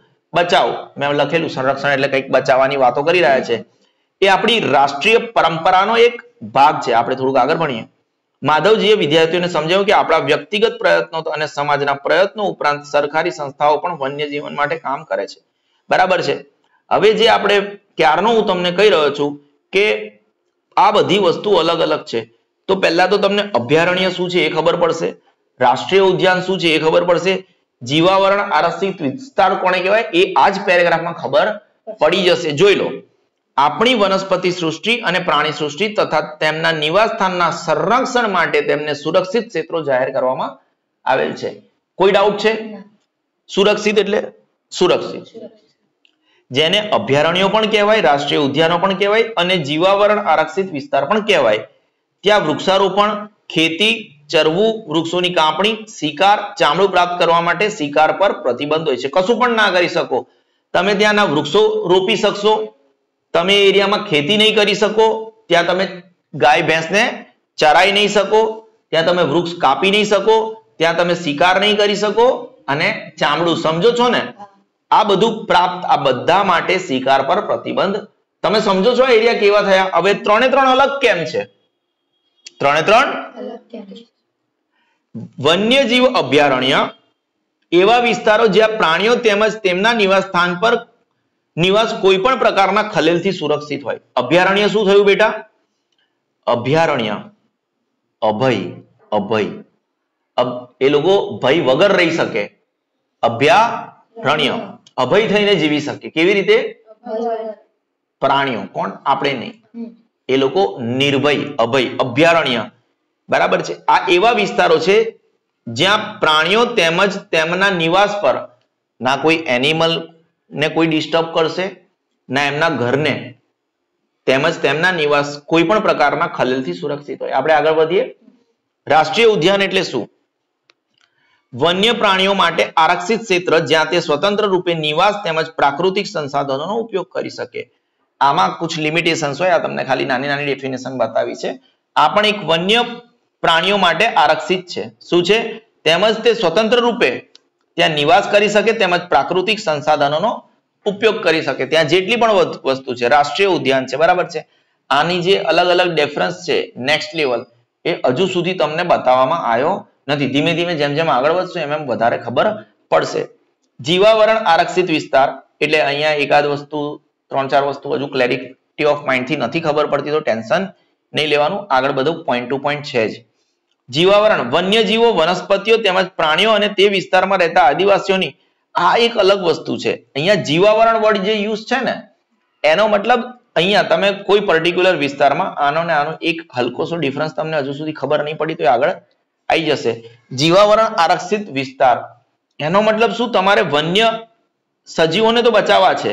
તમારે વનસ્પતિને બચાવી છે, પ્રાણીઓને બચાવવા છે, પ્લસ તમારે આદિવાસીનું પણ ધ્યાન રાખવાનું છે. શું કરવાનું છે? એટલે એ લોકોની જે પરંપરા હોય, આદિવાસી પરંપરા હોય, એની પરંપરાને પણ મતલબ એ લોકોનું કોઈ પર્ટિક્યુલર સોંગ હોય, એ લોકોના જે તહેવાર હોય, એ પરંપરા પણ સચવવાની છે. એને કહેવાય જીવાવરણ. જીવાવરણ કેવું? મતલબ એ પર્ટિક્યુલર એરિયામાં કોઈ આદિવાસી એરિયા છે તો એની પર્ટિક્યુલર પરંપરા. એટલે એને કહેવાય બાયોસ્ફિયર રિઝર્વ બધા સજીવોની વાતો કરો છે. અહીંયા વન્યજીવી અભયારણ્ય, અહીંયા મનુષ્ય આવતો નહીં. રાષ્ટ્રીય ઉદ્યાન, એમાં પણ મનુષ્ય આવતો નથી. મનુષ્યનું ધ્યાન નથી રાખવાનું. ઘણી બધી રિસ્ટ્રિક્શન્સ છે ત્યાં. પરંતુ જીવાવરણ આરક્ષિત વિસ્તારમાં ત્યાંનો જે આદિવાસી છે, તમારે વન્યજીવોનું ધ્યાન રાખવાનું છે.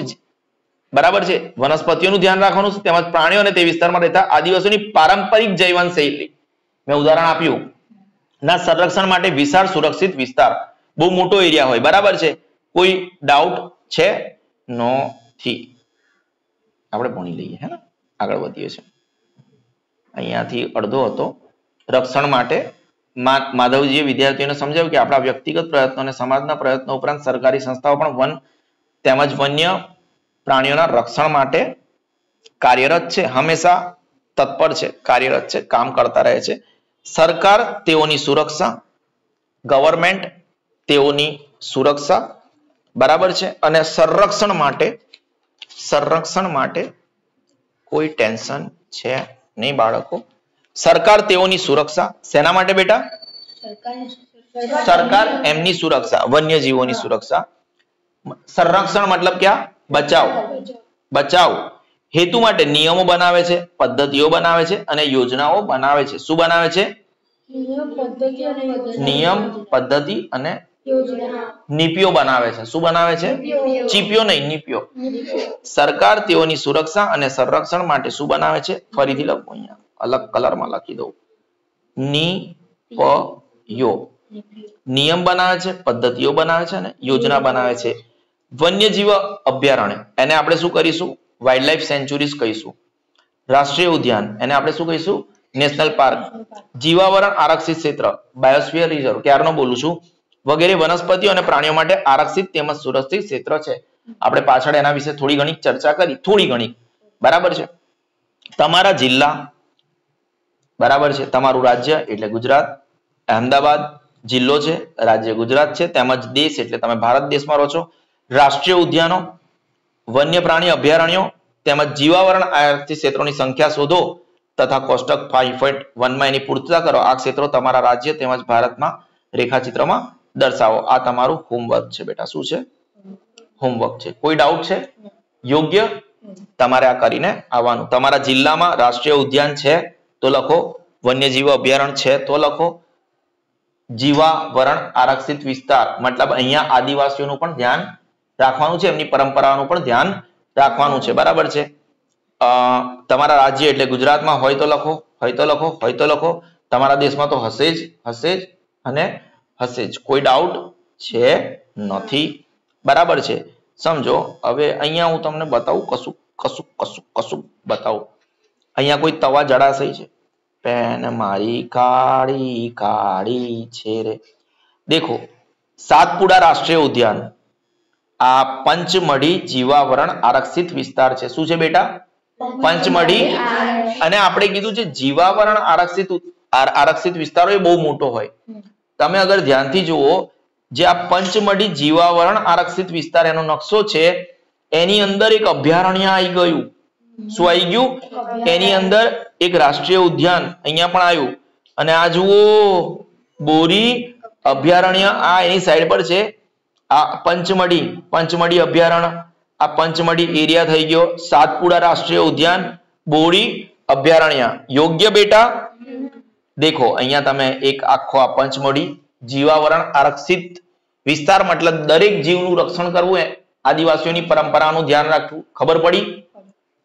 અહીંયા એક અભયારણ્ય છે, એના અલગ રૂલ હશે, અહીંયા એક રાષ્ટ્રીય ઉદ્યાન છે, એના અલગ રૂલ હશે, અને અહીંયા એક અભયારણ્ય છે, એના પણ અલગ રૂલ હશે. શું આપણે આગળ વધીએ બેટા? ઓકે. જીવ આરક્ષિત વિસ્તાર, જીવ આરક્ષિત વિસ્તાર મતલબ કોઈ પણ જીવ હોય એનું ધ્યાન રાખવાનું. કોઈ પણ જીવ હોય એનું ધ્યાન રાખવાનું. આદિવાસીની પરંપરાઓનું પણ ધ્યાન રાખવાનું. પ્રોફેસર અહેમદ તેમજ માધવજીની સાથે વિદ્યાર્થીઓએ જીવ આરક્ષિત વિસ્તારમાં એન્ટ્રી મારી. દાડા ધૂમ ધૂમ દાડા ધૂમ ધૂમ. શું કર્યું? એન્ટ્રી મારી. કોઈ ડાઉટ છે? ટેડિંગ ટેડિંગ ટેડિંગ ટેડિંગ. એવી રીતે? કેવી રીતે એન્ટ્રી મારી? ટેડિંગ ટેડિંગ. આ લોકો શેની પર ગયા હશે? પેલી કેટીએમ કેવી કોઈ બાઇક આવે છે? ટી એક કેટીએમ હતી એક બુલેટ હતી. શું હતું બેટા? એક બુલેટ હતી. પછી એક સાયકલ હતી. બાબા સાયકલ. એક બાબા. કોઈ ડાઉટ છે? નથી. પ્રોફેસર અહેમદ તેમજ માધવજીની સાથે વિદ્યાર્થીઓએ જીવ આરક્ષિત વિસ્તારમાં પ્રવેશ કર્યો. માધવજીએ સમજાવ્યું છે કશું. શું કર્યું છે? કે જૈવ વિસ્તારના રક્ષણ માટે જીવ આરક્ષિત વિસ્તાર બનાવવામાં આવ્યા છે. આપણને ખબર છે? જીવ આરક્ષિત વિસ્તાર કોના માટે બનાવ્યા? બનાવવામાં આવ્યા છે? જીવ જે વિસ્તાર છે એમના રક્ષણ માટે જૈવ વિસ્તાર. જેમ કે તમે જાણો છો કે જૈવ વિવિધતા થોડી આપણે જૈવ વિવિધતા નહીં ભણાવી તમને?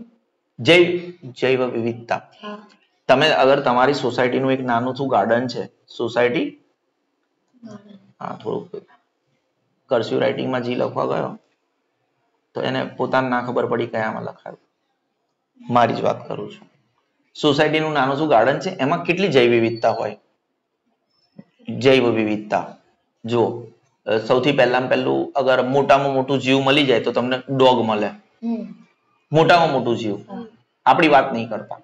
કારણ કે સોસાયટીમાં ગાય ભેંસ તો હોય નહીં. સોસાયટીમાં કૂતરું હોય. કૂતરાથી નાનું શું મળી જાય કદાચ? બિલાડી. યોગ્ય? પછી એનથી નાનું? ઉંદર. એટલે એનથી નાનું નાનું તમે જુઓ એટલે કોઈ પર્ટિક્યુલર એક સોસાયટીના ગાર્ડનમાં પણ આટલી બધી જૈવ વિવિધતા છે. તમને જૈવ વિવિધતા વર્ડ ખબર પડી? શું ખબર પડી? કે કોઈ પણ પર્ટિક્યુલર એરિયામાં અલગ અલગ પ્રકારના જીવોનું હોવું. તમે જાણો છો કે જૈવ વિવિધતા એટલે કોઈ પણ ક્ષેત્રમાં જોવા મળતી બધી વનસ્પતિઓ? અચ્છા, આમાં વનસ્પતિ તો આપણે ભૂલી જ ગયા. હે ને? જાસૂદનું ફૂલ ફળાણાનું ભૂસ ફૂલ કેળાનું ઝાડ, સ્લીપ ઓફ ટંગ કહેવાય એને. શું કહેવાય?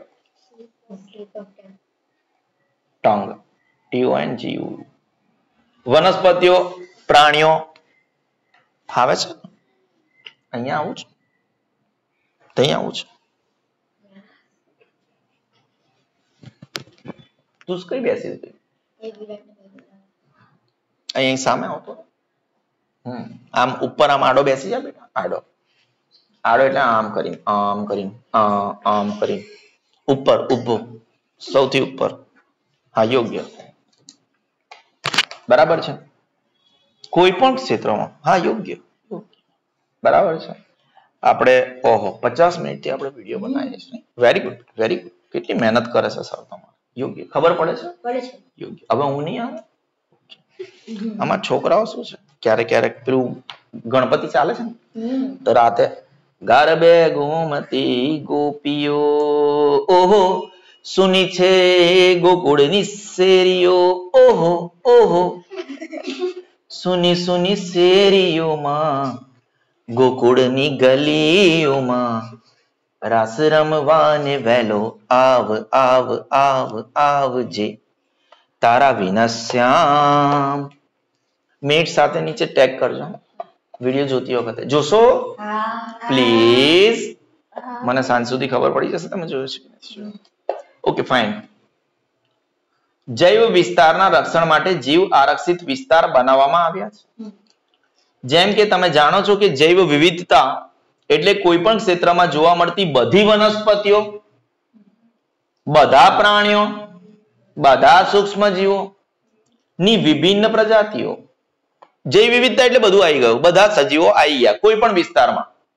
હવે તમે સોસાયટીની પણ વાત કરી શકો. તમે એનાથી વધુ થોડું મોટા પણ થઈ શકો. પછી જિલ્લાની વાત કરી શકો. તમે ગુજરાતની વાત કરી શકો. તમે પૂરા ભારત દેશની વાત કરી શકો. કે ભારતમાં કેટલી જૈવ વિવિધતા છે? તો તમને ખબર પડશે કે પંચ્યાસી હજાર પ્રજાતિઓ છે પ્રાણીઓની. પછી વનસ્પતિનો અલગ નંબર આવશે. મને બરાબર યાદ નથી, એટલે એ બધું ડિટેલિંગ કરવાની જરૂરત નથી. કોઈ પણ ક્ષેત્રનો જીવ આરક્ષિત વિસ્તાર તે ક્ષેત્રની જૈવ વિવિધતા તેમજ સંસ્કૃતિને સંસ્કૃતિને જાળવી રાખવા માટે સહાયક હોય છે. કોઈ પણ ક્ષેત્રનો જીવ જૈવ આરક્ષિત વિસ્તાર એટલે આપણે શું કીધું? આપણે શું કીધું? તેની જૈવ વિવિધતા તો બચાવી જ છે. પરંતુ તેમજ એ પર્ટિક્યુલર એરિયાની સંસ્કૃતિ દેખો કોઈ પ્રાણીની ના હોય, આપણી મનુષ્યની હોય. તો એ પર્ટિક્યુલર એરિયાની જે સંસ્કૃતિ છે, પરંપરાઓ છે, તમે કોઈક દિવસ ગાયને ગરબા રમતા જોયા, તે લોકોની કોઈ સંસ્કૃતિ નથી. સંસ્કૃતિ મનુષ્યની હોય છે. કોઈ ડાઉટ છે? નથી. તો જૈવ આરક્ષિત વિસ્તાર, કોઈ પણ વિસ્તારની જૈવ વિવિધતા જૈવ આરક્ષિત વિસ્તારના લીધે કોઈ પણ એરિયાની જૈવ વિવિધતા ટકાઈ રહેશે. પ્લસ એની પરંપરાઓ સંસ્કૃતિ પણ બચી રહેશે. કોઈ પણ જીવાવરણ આરક્ષિત વિસ્તારની અંતર્ગત અન્ય સુરક્ષિત વિસ્તાર પણ હોઈ શકે. જે આપણે ફોટોમાં જોયો. જૈવ આરક્ષિત વિસ્તાર મોટો હોય એની અંદરમાં અંતર્ગત અન્ય સુરક્ષિત વિસ્તાર પણ હોઈ શકે. જેવી રીતે તમે જોયું પંચમઢી જીવાવરણ આરક્ષિત વિસ્તારમાં સાતપુડા નામનો એક રાષ્ટ્રીય ઉદ્યાન તથા બોરી તેમજ પંચમઢી નામના બે વન્ય પ્રાણી અભયારણ્ય છે. આપણે ઓલરેડી ચર્ચા કરી. વન જે આરક્ષિત વિસ્તાર છે, જીવાવરણ આરક્ષિત વિસ્તાર છે, એ બહુ મોટો હોઈ શકે. એની અંદર એક અભયારણ્ય પણ હોઈ શકે, એક બે રાષ્ટ્રીય ઉદ્યાન પણ હોઈ શકે, એક બે અભયારણ્ય પણ હોઈ શકે. તો જ્યારે પણ તમે કોઈ પણ આરક્ષિત વિસ્તારની વાત કરી રહ્યા છો, તો એ બહુ મોટો હશે અને એના અંતર્ગત અભયારણ્ય પણ હોઈ શકે અને રાષ્ટ્રીય ઉદ્યાન પણ હોઈ શકે. કોઈ ડાઉટ છે? શું આપણે આગળ વધી શકીએ છીએ? શું વાત છે? કારણ કે આપણે શું ભણી રહ્યા છે યોગ. મિત્રો સિગ્મા ઇન્સ્ટિટ્યૂટ ઓફ એક્સિલન્સ દુનિયાના સૌથી મહાન ટ્યુશનની અંદર તમે શું ભણી રહ્યા છો? ચેપ્ટર નંબર પાંચ. અને આપણે કોને બચાવવાની કોશિશ કરી રહ્યા છે? એમને બચાવીને આપણે આપણે ખુદનું પણ ભલું કરવા માંગીએ છીએ. કારણ કે એમને બચાવીને આપણું ભલું ના થતું તો મનુષ્યને આ લોકોનું ભલું કરવામાં કોઈ ઇન્ટરેસ્ટ નથી. કારણ કે મનુષ્ય સૌથી વધારે લાલચી વ્યક્તિ છે મિત્રો. શું છે? ક્રીડી. મનુષ્ય જેટલો લાલચી આ દુનિયામાં કોઈ વ્યક્તિ થયો નથી ના થશે ના થશે. યોગ્ય? આપણે વધારે પડતા ભવિષ્યમાં જતા રહ્યા પ્રવૃત્તિ પાંચ પોઈન્ટ ચાર કરીશું મારા વાલા મિત્રો. તમારા પોતાના વિસ્તારમાં જૈવ વિવિધતામાં ખલેલ. ખલેલ. મતલબ એને પરેશાન કરવા વાળા કારણોની યાદી બનાવો. તેમાંની કેટલીક પ્રવૃત્તિઓ અજાણે જ જૈવ વિવિધતામાં ખલેલ પહોંચાડે છે? અજાણે. કેટલીક પ્રવૃત્તિઓ. અજાણ્યા વગર. તમને ખબર જ ના હોય. જેવી રીતે આપણે રાતે ત્રણ વાગ્યા સુધી, ત્રણ વાગ્યા સુધી ડબલ્યુ વી અરે યાર નોનસેન્સ ક્યારેક ક્યારેક છે. ત્રણ વાગ્યા સુધી, આ મને ઇંગ્લિશમાં લખવાની આદત છે એટલે મેં ગુજરાત વાગ્યા લખ્યું છે. હા, મને આવડે છે ગુજરાતીમાં. ડાપણ કોમેન્ટ સેક્શનમાં ડાપણ કરવું હતું તારે. તો રાતે ત્રણ વાગ્યા સુધી જ્યારે આપણે રોજ ગરબા રમીએ તો શું પેલું કૂતરું છે એને ઊંઘ ના આવતી હોય? તો શું આપણે આપણા અવાજથી એ કૂતરાને તકલીફ નથી થતી? આપણે જાણ્યું પણ નહીં. બરાબર છે. તમને એ પણ નથી ખબર તમે જે વગાડો છો એનાથી ટ્રીને પણ તકલીફ થાય છે. બરાબર છે એટલા બધા અવાજથી. નાના નાના કીડા હોય એને પણ તકલીફ થાય. તો આપણે જાણ્યા અજાણ્યા આપણા જાણની બહાર આપણે ઘણા બધા લોકોને તકલીફ પહોંચાડીએ છીએ. કોઈ ડાઉટ છે? એટલે જ કાલે મારી ઘરે વિસર્જન હતું તો મેં નેપાલી નહીં આવતા પેલા ઢોલ? નેપાળી ઢોલ જ કહેવાય ને એને. અને ડીજે વગાડવાનો હતો. દસ વીસ હજારનો ખર્ચો કરવાનો હતો. પણ મેં કીધું મારા મને તો નોલેજ છે હું તો હોશિયાર છું. તો હું જે આ નાના નાના સજીવ છે કૂતરા છે એમને તકલીફ કેવી રીતે આપી શકું? બરાબર છે. બચારા દોડતા થઈ જાય. યોગ્ય? કેટલો ઇન્ટેલિજન્ટ છું યોગ્ય. મનુષ્ય દ્વારા થતી આવી પ્રવૃત્તિની યાદી બનાવો, તેને કેવી રીતે ચકાસી શકાય? તમારા વર્ગમાં તેની ચર્ચા કરો. સંસ્કૃતમાં અહેવાલ. ફાઈવ પોઈન્ટ ફાઈવ કઈ સૃષ્ટિ? વનસ્પતિ સૃષ્ટિ? કોઈ પણ દેશનું. એને ફ્લોરા ફોના કહેવાય બેટા. શું કહેવાય? શું થયું? એને શું કહેવાય? Flora F A U N A flora એટલે ફ્લાવર જેવી રીતે. વનસ્પતિ સૃષ્ટિ, ફોના એટલે. હવે કોઈ પણ દેશની ફ્લોરા ફોના જેટલી સમૃદ્ધ હોય એટલું એ દેશનો પાવર વધારે પણ હોઈ શકે. બરાબર? એને એવું કહેવાય, અરે, અમારા દેશમાં તો આવું છે, અમારા દેશમાં તો આવું છે. બરાબર? તમે ઘરમાં કૂતરું લઈને આવો ને, કૂતરું તો પણ આખી દુનિયા કૂતરું લા કૂતરું. કયું છે? એક તો પેલું ગલીમાં લાલિયા કૂતરા હોય, અને બચ્ચા થયા ને, એમાંથી એક કૂતરાને પટ્ટો પહેરીને લઈ આવે. અને કલર કરે પાછો આપણી આમાં. બરાબર છે? વનસ્પતિ સૃષ્ટિ પ્રાણી સૃષ્ટિ. બાળકોએ ભ્રમણ કરતી વખતે જીવાવરણ આરક્ષિત વિસ્તારની લીલોતરીની પ્રશંસા કરી. અરે બહુ લીલોતરી સાહેબ. અહેમદ સાહેબ જોરદાર લીલોતરી. માધવજી કે? માધવજી કોણ હતા બેટા? ગાઈડ. આમ બધી જાતે ઉગાડી. ફેંકા ઓછા મારો માધવજી. માધવજી શું કે? આ બધી લીલોતરી માવો ખાતા હતા વિમલ. બોલો. જુવા કેસરી યોગ્ય? લીલોતરી લીલોતરી કોણે ઉગાડી હતી? માધવજી. છોકરાઓ તો બડા હોશિયાર. માધવ ફેંકો મારા. નકરો ફેંકો મારા. તેઓ જંગલમાં ઊંચા ઊંચા સાગના વૃક્ષો સાગનું લાકડું મોંઘું. તેઓ જંગલમાં ઊંચા ઊંચા સાગના વૃક્ષો તેમજ વન્ય પ્રાણીઓને જોઈને ખુશ થઈ ગયા. મજા આવી ગઈ મજા આવી ગઈ. માધવજી કે બેટા શાંતિ ના કરજો તો બધું બહુ આવશે. યોગ્ય? પહેલી અચાનક એક સસલું એક જોઈએ બે ત્રણ. પહેલી પહેલીએ શું જોયું? સસલું જોયું. પહેલીએ શું કીધું? એક જોઈએ બે જોઈએ? ત્રણ. ત્રણ ચાર. અમારા અંબાણી મેડમ નહીં કેતા નહીં જોઈ રહી? એક જોઈએ? ઓ તું તો કૃષ્ણ લાગે છે. નથી જોયું? નહીં જોયું? એક જોઈએ? બે જોઈએ? ત્રણ. આગળ વધીએ ભાઈ. યોગ્ય? એને શું જોયું? સસલું. બરાબર છે? અને તેને જો. હજુ તો એટલે જ આ લોકોને અહીંયા ના ઘુસાડાય. આપણે જોયા નહીં. આપણને કોઈ પકડવા જાય તો કેવું લાગે? પેલું ટાઈગર આપણને જોઈને આજે તો આને પકડી જ લઉં. તમને બીક લાગે કે ના લાગે? ટાઈગર નહીં, તમારી જોડે રમવું જ હોય છે. તો આ સસલાને પણ બીક લાગે કે ના લાગે? લાગે કે ના લાગે? તો તમારે એને પકડવું જોઈએ. એ કેમ ભાગે છે તો સમજો. જેવું જ પહેલી એક સસલાને જોયું, પહેલી કે આજે તને પકડી જ લઉં. બરાબર છે? એની પાછળ દોડી. પ્રોફેસર અહેમદે તેને અટકાવી. હે, રૂક પાગલ ઓરત તેમણે સમજાવ્યું કે પ્રાણીઓ પોતાના નિવાસ સ્થાનમાં ખુશ રહે છે. તેમણે શું સમજાયું? પ્રાણીઓ જે છે પોતાના નિવાસ સ્થાનમાં નિવાસ સ્થાનમાં ખુશ રહે છે. આપણે તેને પરેશાન ન કરવા જોઈએ. એને આવી રીતે એક બે ત્રણ ન પૂછાય. બરાબર છે? માધવજી, ગાઈડ. માધવજીએ સમજાવ્યું કે કેટલાક પ્રાણીઓ તેમજ વનસ્પતિઓ કોઈ વિશિષ્ટ વિસ્તારમાં જોવા મળે છે. બરાબર છે? કેવી રીતે? જેવી રીતે નિખિલ સર છે. નિખિલ સર, શું બધી જગ્યાએ રહું છું? વિશિષ્ટ. તો આ જે આ પ્રાણી છે, વિશિષ્ટ પ્રાણી, નિખિલ સર, એ વિશિષ્ટ વિસ્તારમાં જ જોવા મળે. કોઈ ડાઉટ છે બેટા? નથી. અને આવા વિસ્તારમાં જોવા મળતી વિશિષ્ટ વનસ્પતિઓને તે વિસ્તારની વનસ્પતિ સૃષ્ટિ કહેવાય. બરાબર છે? યોગ્ય? અને એ પ્રકારમાં રહેતા પ્રાણીઓને જેવી રીતે આને ના કીધું? ગીરનો સિંહ. તો એ જે સિંહ છે એ ગીર ગીરનો જે સિંહ છે એ એ સિંહ ગીર એરિયાની પ્રાણી સૃષ્ટિ છે. બરાબર છે? કોઈ જગ્યાએ કોઈ પર્ટિક્યુલર ફૂલ થતું હોય તો એ ફૂલને એ એરિયાનું વનસ્પતિ સૃષ્ટિ કહેવાય. તમને ખબર પડી જશે મારા વાલા મિત્રો.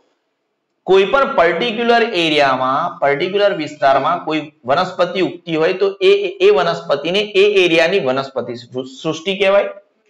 અને કોઈ પ્રાણી અગર કોઈ પર્ટિક્યુલર બેંગાલ ટાઈગર યોગ્ય? યોગ્ય. ચલો.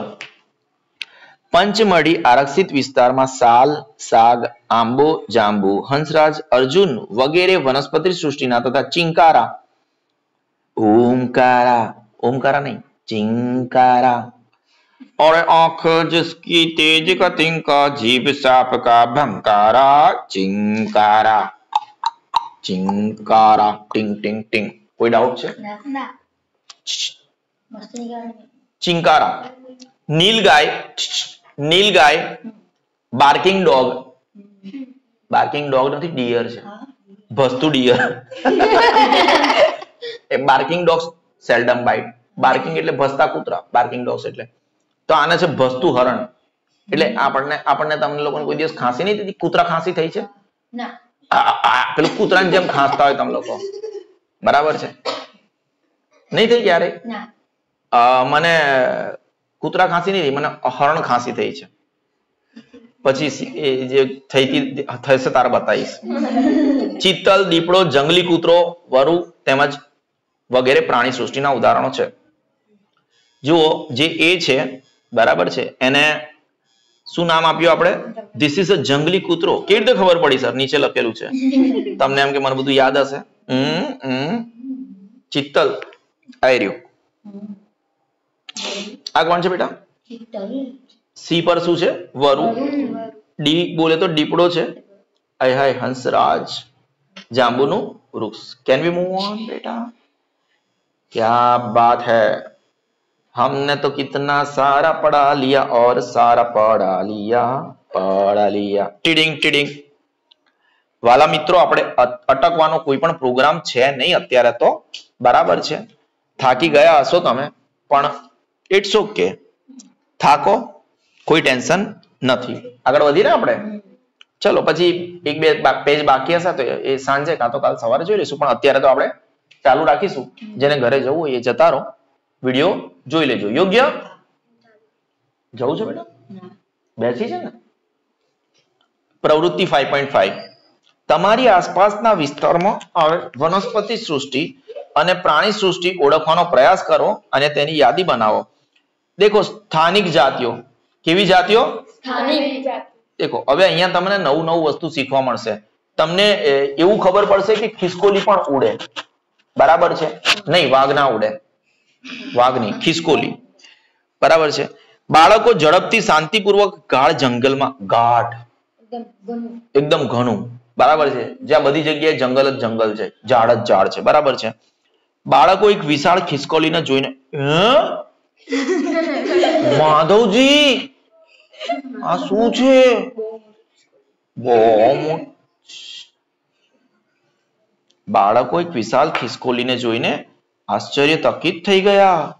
આ ખિસકોલીની પૂંછડી મોટી પીછાકાર હતી. પી, આ મૂળના પીંછ હોય ને, એના જેવી જો આઈ રહ્યું. આ આઈ રહ્યું. બુકમાં નથી તારી? રેકોર્ડિંગમાં તેઓ તેના વિશે જાણવા ખૂબ જ ઉત્સુક છે. આતુર છે. માધવજી. આ એ જ માધવજી છે. આ એ જ માધવજી છે. જેમને એવું કીધું હતું કે આખા જંગલમાં બધું મેં જ ઉગાડ્યું છે. માધવજીએ જણાવ્યું કે તેણે વિશાળ ખિસકોલી કહે છે. અરે બાપરે આને શું કહેવાય બેટા? વિશાળ ખિસકોલી. અને તા મેં તમને ના પાડી હતી ને? બધાએ નહીં બોલવાનું? અને તે આ વિસ્તારની સ્થાનિક જાતિ છે. કેવી જાતિ છે? કોઈ પર્ટિક્યુલર એરિયામાં જોવા મળતી હોય તો એને સ્થાનિક. કેવું? સ્થાનિક. હમ. વનસ્પતિઓ અને પ્રાણીઓની એવી જાતિઓ કે જે કોઈ એક જ ચોક્કસ ક્ષેત્રમાં વિશિષ્ટ રૂપે જોવા મળે તેને સ્થાનિક જાતિ નિખિલ સર કીધું ને? એક જ જગ્યાએ જોવા મળે. અત્ર તત્ર સર્વત્ર નહીં. અત્ર તત્ર સર્વત્ર નહીં. માત્ર ને માત્ર એક જ જગ્યાએ એક જ જગ્યાએ સવારે આઠથી રાતના દસ સુધી નિખિલને મળવું હોય તો સિગ્મા ઇન્સ્ટિટ્યુટ ઓફ એક્સિલન્સના દરવાજા ખટખટાવો તમને હંમેશા મળી જશે. કોઈ એક જ ક્ષેત્રમાં વિશિષ્ટ રૂપે જોવા મળે તેને શું કહેવાય? સ્થાનિક જાતિ. તે કોઈ અન્ય વિસ્તારમાં પ્રાકૃત, પ્રાકૃતિક રૂપે નહીં જોવા મળે. કેવા રૂપે? જેવી રીતે આ વિશાળ ખિસકોલીના મમ્મી, પપ્પા ને તમે અમદાવાદ લઈ આવો. બરાબર છે? હવે એના છોકરા અમદાવાદમાં થાય. તો પ્રાકૃતિક રૂપે તો ના થયા ને? એને સ્થાનાંતર કર્યું. પ્રાકૃતિક રૂપે એક જ એરિયામાં છે. કુદરતી રીતે એક જ એરિયામાં છે. કોઈ ડાઉટ છે? સ્થાનિક પ્રજાતિ એટલે શું કે અહીંયા જ એક જ એરિયામાં. આ એરિયામાં જ પેદા થાય છે, અહીંયા જ મરે છે. પરંતુ અમદાવાદમાં જોવા મળે એનો મતલબ શું? એ કોઈ એને ત્યાંથી લઈને આવ્યું અને એનું લગ્ન કરાયું ને અહીંયા છોકરા થયા. કોઈ ડાઉટ છે? નથી. પ્રાકૃતિક રૂપે ખબર પડી ને? કોઈ વિશિષ્ટ પ્રકારની વનસ્પતિઓ તેમજ પ્રાણીઓ કોઈ વિસ્તાર, કોઈ રાજ્ય તથા દેશની સ્થાનિક જાતિ હોઈ શકે. હવે કોઈ વિશિષ્ટ પ્રકારની કોઈ વનસ્પતિ યા તો કોઈ પ્રાણી. એ કોઈ પર્ટિક્યુલર એરિયા વિસ્તાર, રાજ્ય, મતલબ આખા સ્ટેટમાં પણ જોવા મળતું હોય અને કોઈ દેશમાં પણ જોવા મળતું હોય એવું હોઈ શકે. કોઈ ડાઉટ છે તમને? નથી યોગ્ય? માધવજીએ પંચમોઢી જીવાવરણ આરક્ષિત ક્ષેત્રમાં આવેલ સાલ અને જંગલી આંબા. જુઓ. આ જંગલી આંબો છે. બરાબર છે. તમને ખબર છે? તારક મહેતા કા ઉલ્ટા ચશ્મા. તારકભાઈ તારકભાઈ તારક મહેતાના ઉલ્ટાના ચશ્મામાં ગોગી. ગોગી. એક વખત આંબા પર ચડેલો. હવે તમને એવું લાગે છે આંબા પર ગોગી ચડી શકે. આ જંગલી આંબો છે. કેવો આંબો છે? જંગલી આંબો. જંગલી આંબો છે. બહુ ઊંચો છે. માધવજીએ પંચમઢી જીવાવરણ આરક્ષિત ક્ષેત્રમાં આવેલ સાલ અને જંગલી આંબાના વૃક્ષો બતાવીને સ્થાનિક વનસ્પતિઓનું ઉદાહરણ આપ્યું. પીડીઆઈ. કોણ આવ્યું. પહેલી દીદી. પહેલી દીદીએ સાંભળ્યું છે કે કેટલીક સ્થાનિક જાતિઓ લુપ્ત થઈ છે. ઊભા રહો આપણે એના અવાજમાં બોલીએ હા. મેં સાંભળ્યું છે કે કેટલીક સ્થાનિક જાતિઓ લુપ્ત થઈ ગઈ છે. શું તે સાચું છે? હા, માધવજીએ રિપ્લાય આપ્યો. શું આપ્યો? લુપ્ત મતલબ ગાયબ. લુપ્ત મતલબ? મતલબ મરી ગઈ છે. એક્સટિંક્ટ થઈ ગઈ છે. કોઈ ડાઉટ છે? નથી. પહેલીનો વચ બરાબર હતો? યોગ્ય? ઓકે, આગળ વધીએ. હવે એ લોકોએ એમને એમને બાઇસન બતાવ્યું. પહેલા આપણે વનસ્પતિ. એમને સાલ અને જંગલી આંબો બતાવીને સ્થાનિક વનસ્પતિ બતાવી. હવે બાયસન. બાયસન એટલે જંગલી બળદ. બાયસન એટલે શું બેટા? જંગલી બળદ. બતાવ્યું વિશાળ ભારતીય ખિસકોલી ફોટો છે. અને ઉડતી ખિસકોલી. મેં તમને કીધું હતું ને આપણે આ પેજ ચાલુ કર્યું ત્યારે તમને ખબર પડશે. ઉડતી ખિસકોલી પણ કોઈક વસ્તુ હોય. ઉડતો વાઘ નહીં. ઉડતી ખિસકોલી.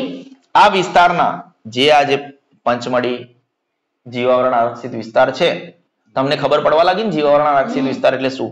તો ત્યાં તમને બાયસન જંગલી બળદ પણ જોવા મળશે વિશાળ ભારતીય ખિસકોલી પણ જોવા મળશે અને ખિસકોલી ઉડે ફુર્રે એ પણ જોવા મળશે. હવે પ્રોફેસર અહેમદે જણાવ્યું કે તેમના નિવાસ રહેઠાણનો નાશ થવાથી વસ્તી વધારાથી અને ત્યાં નવી જાતિઓ લાવવાથી સ્થાનિક જાતિના કુદરતી નિવાસ તેમજ તેમના અસ્તિત્વને દેખો. પ્રો- પ્રોફેસર અહેમદે શું કીધું? એમનું ઘર તોડી નાખ્યું તમે. શું કર્યું? ઘર તોડી નાખ્યું. બરાબર છે. વસ્તી વધી ગઈ. અને ત્યાં નવી જાતિઓ લાવવાથી, મતલબ કોઈ પ્રકારની નવી પ્રજાતિઓ લાવી ગઈ.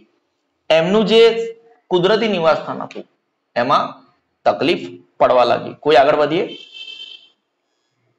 જાતિ એટલે સ્પીસીસ એ સજીવોની વસ્તીનો એવો સમૂહ છે કે જે એકબીજા સાથે આંતર પ્રજનન કરવા માટે સક્ષમ હોય. હવે તમે કૂતરા, કૂતરાના એક્ઝામ્પલ આપો. કૂતરા, બે ત્રણ કૂતરાના નામ આપો. લાલ્યું. એવું નહીં લા. અને એવું નહીં લા. પેલું આલ્સેશન ને એવું કંઈક નહીં બોલતા પેલું સફેદ કૂતરું આવે. એને શું કહેવાય? પોમેરિયન. ચલો પોમ પોમ કહેવાય પોમ? પોમ. પોમ એક અચ્છા German shepherd German shepherd German shepherd અને લેબ્રાડોગ અને લેબ્રાડોગ. તો આમાં કેવું હોય? સ્પીસીસ પ્રજાતિ કોને કહેવાય? પોમ પોમ જોડે લગ્ન કરે. જર્મન સેફર્ડ જર્મન સેફર્ડ જોડે લગ્ન કરે. લેબ્રાડોગ લેબ્રાડોગ જોડે લગ્ન કરે. આ એની જાતિ કહેવાય. શું કહેવાય? જેવી રીતે આપણામાં નહીં હોતું Jainism Jain Jain.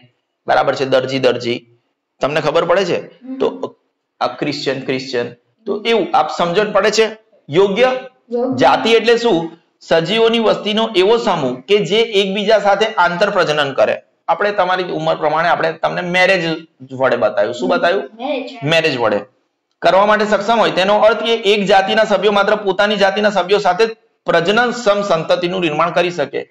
Pomeranian Pomeranian જોડે લગ્ન કરશે તો જ છોકરા થશે. German shepherd German shepherd German shepherd જોડે લગ્ન કરશે તો જ છોકરા થશે. અને લેબ્રાડોગ લેબ્રાડોગ જોડે લગ્ન કરશે. તમને ખબર પડી? યોગ્ય? યોગ્ય ને? અને અન્ય જાતિ સાથે કરતા નથી. એ એ- એક જ જાતિના સભ્યો ઓબ્વિયસલી એક જ જાતિના. તમને ખબર ના પડી કે આ જર્મન સેફર્ડ છે જોઈને? જોઈને કેવી રીતે ખબર પડે છે? કારણ કે એમના કેરેક્ટર્સ સમાન છે. એ લોકોના કેરેક્ટર સમાન. છે. અને પછી જે ઇન્સાનોએ આપણે જે જાતિ બનાવી છે એ બહુ ખોટું છે. જેવી રીતે અમેરિકન વ્યક્તિ છે એને જોઈને તમને ખબર પડી છે કે ભૂર્યો છે. પછી તમે કોઈ પણ ઇન્ડિયન ને જુઓ. ઇન્ડિયન ને જોશો ને અને એમાં પણ હિન્દુ ગુજરાતીને જુઓ. કોણે? હિન્દુ ગુજરાતી. ગુજરાતી હિન્દુને જુઓ, તમને બધા ગુજરાતી સેમ જ લાગશે. એમના ફેસ પરથી. તમે મુસ્લિમને જુઓ, તમને એવું લાગશે આ મુસ્લિમ છે. બરાબર છે, તમે રાજસ્થાનના મારવાડીનો ફેસ જુઓ, તમને ખબર પડી જશે રાજસ્થાની મારવાડી છે. તમે સમજો છો હું શું કહેવા માંગુ છું? તો જનરલી જનરલી તમને લક્ષણો, સમાન લક્ષણો દેખા. ચાઇનીઝને જોઈને કેવી રીતે ખબર પડી જાય? ચાઇનીઝ તમે સમજો છો? ફિઝિકલ ફિઝિકલ જે અપિયરન્સ છે, એનાથી ખબર પડી જાય કે આ વ્યક્તિ કઈ પ્રજાતિનો છે, કઈ જાતિનો છે. યોગ્ય આગળ વધીએ. પ્રવૃત્તિ ફાઈવ પોઈન્ટ સિક્સ તમે જે વિસ્તારમાં વસવાટ કરો છો તે વિસ્તારની સ્થાનિક વનસ્પતિઓ હા મેળવી લેજો. આગળ વધીએ આપણે? ગોપાલ મારો પારણી ઝૂલે રે. થઈ જશે. થાકી ગયા લાગો છો? એક જોઈએ બે ત્રણ. આવી રીતે ત્રણ. યોગ્ય. એવી રીતે કરે છે ને? ઓ વાવ. કૃષ્ણા લાગો છો. ફાઈવ પોઈન્ટ થ્રી એક બે ત્રણ ત્રણ પેજ બાકી છે પૂરા થઈ જશે. યોગ્ય? ફટાફટ કરીએ બેટા. ખબર પડે છે?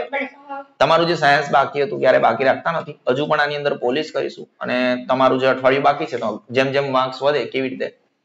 એનું પ્લાનિંગ કરીશું આપણે. હું તમને પછી પ્લાન કરીને આપું કેવી રીતે ભણવાનું. યોગ્ય? એટલે તમે સ્કૂલમાં ટોપ કરી શકો. ટોપ કરવું છે કે નથી કરવું બાળકો? યોગ્ય. આગ લગા દેંગે આગ લગા દેંગે. વન્યજીવ અભયારણ્ય. તમે જીવાવરણ આરક્ષિત વિસ્તાર વિશે ભણ્યા. હવે વન્યજીવ અભયારણ્ય વિશે ભણીશું. તરત જ પહેલી એક બોર્ડ જોયું જેની ઉપર પંત પંચમળી વન્યજીવ અભયારણ્ય લખ્યું હતું. હવે આપણે ભણીશું અભયારણ્ય કઈ ચીડિયાનું નામ છે. પ્રોફેસર અહેમદ સમજાવે છે કે સામાન્ય રીતે આવા સ્થળોને પ્રાણીઓને મારી નાખવા મતલબ શિકાર કરવા કે પકડવા કાયદાની દ્રષ્ટિએ સખ્ત રીતે પ્રતિ હવે તમને એવું ખબર પડશે અભયારણ્ય અને રાષ્ટ્રીય ઉદ્યાનમાં શું ફરક છે? તમને જીવાવરણ આરક્ષિત વિસ્તાર તો ખબર પડી જ ગઈ. યોગ્ય? તો તમને એ ખબર પડી, આવા સ્થળોએ પ્રાણીઓને મારી નાખવા કે શિકાર કરવા? કે પકડવા? કાયદાની દ્રષ્ટિએ પ્રતિબંધિત છે અને તમને સોલિડ સજા થશે. તમને ખબર હશે, સલમાન ખાને આજથી વીસેક વર્ષ પહેલા એક શિકાર કરેલો રાજસ્થાન, હરણનો. બરાબર છે?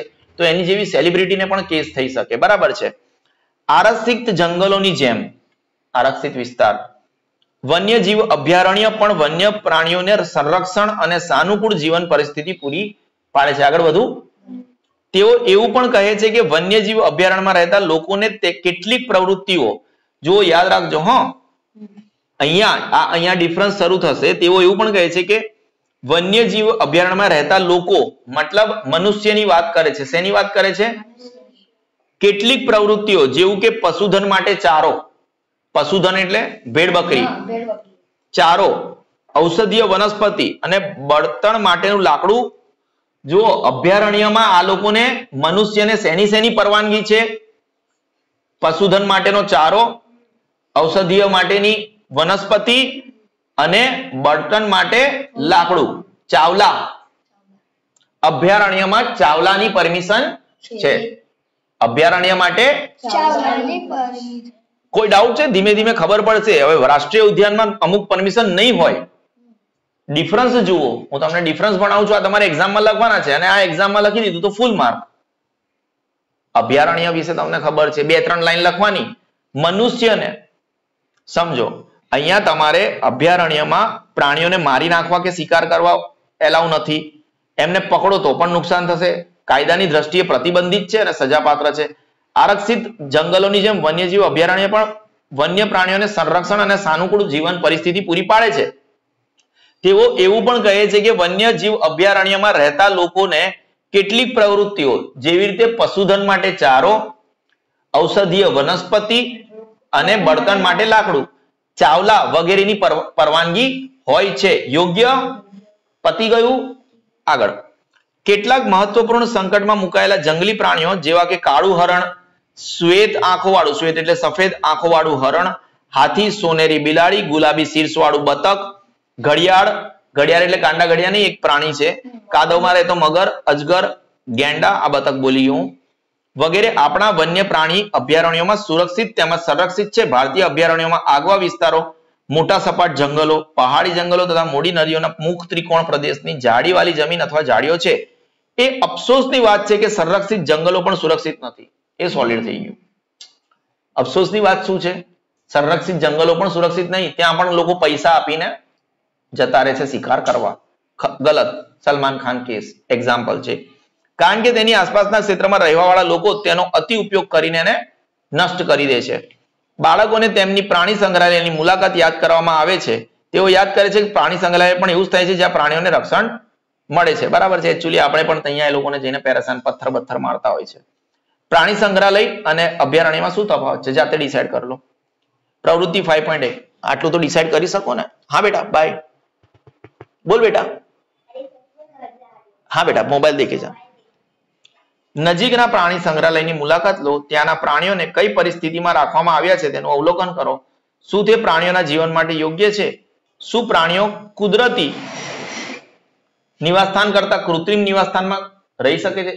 તમને એવું લાગે તમે જેલમાં હોય તો ખુશ હો. બરાબર છે? બિલકુલ ના હો. એટલે તમને એવું લાગે છે એ લોકો ને તમે આવી બધી જગ્યાએ રાખો. બરાબર છે? કોઈ ડાઉટ છે? એટલે એ લોકો દુખી છે. તમારા મત મુજબ પ્રાણીઓ તેમના કુદરતી નિવાસસ્થાનમાં આરામથી વસવાટ કરી શકે? મારા હિસાબે કુદરતી નિવાસસ્થાનમાં. યોગ્ય? આગળ વધીએ આપણે. તમને જીવાવરણ આરક્ષિત વિસ્તાર વિશે ખબર પડી. તમને વાઇલ્ડ લાઈફ સેન્ચુરી વન્યજીવ અભયારણ્ય વિશે ખબર પડી. હવે આપણે શેના વિશે ભણીશું? National park. અહીંયા જો શું શું થાય છે. રસ્તાની બાજુ પર એક બોર્ડ લાગેલું હતું, જેના પર લખ્યું હતું સાતપુડા રાષ્ટ્રીય ઉદ્યાન. આપણે મેપ પહેલા જ જોયો. કોઈ ડાઉટ છે? બાળકો હવે ત્યાં જવા માટે એકદમ પ્રોત્સાહિત હતા, ઉત્સુક હતા. માધવજીએ તેમને જણાવ્યું કે આ વિશાળ આરક્ષિત છે. આ વિશાળ આરક્ષિત ક્ષેત્ર છે. બહુ મોટો આરક્ષિત ક્ષેત્ર છે તથા પર્યાવરણના સંપૂર્ણ નિવસન તંત્રનું સંરક્ષણ કરવા માટે. નિવસન તંત્ર એટલે જે ઇકોસિસ્ટમ હોય ને, જે મેં તમને સમજાયું. પેલું એક તમારું જે સોસાયટીનું ગાર્ડન છે, એ પણ એક નિવસન તંત્રનું ઉદાહરણ છે. બરાબર છે, પણ એ નાનું નિવસન તંત્ર છે. કેવી રીતે? એક કૂતરું છે. એ કૂતરું કંઈ કશું કશું ખાતું હશે. પછી બિલાડી છે, બિલાડી ઉંદરને ખાતી હશે, ઉંદર બીજું કંઈક ખાતું હશે. એને નિવસન તંત્ર કહેવાય. શું કહેવાય? ઇંગ્લિશમાં એને ઇકોસિસ્ટમ કહેવાય. શું આગળ વધુ? બરાબર છે. તો પર્યાવરણના સંપૂર્ણ નિવસન નિવસન તંત્રનું સંરક્ષણ કરવા માટે પર્યાપ્ત છે. શું કહેવા માંગે છે? ફરીથી હું તમને સમજાવી દઉં. બાળકો હવે ત્યાં જવા માટે ઉત્સુક હતા. માધવજીએ તેમને જણાવ્યું કે આ વિશાળ આરક્ષિત ક્ષેત્ર છે.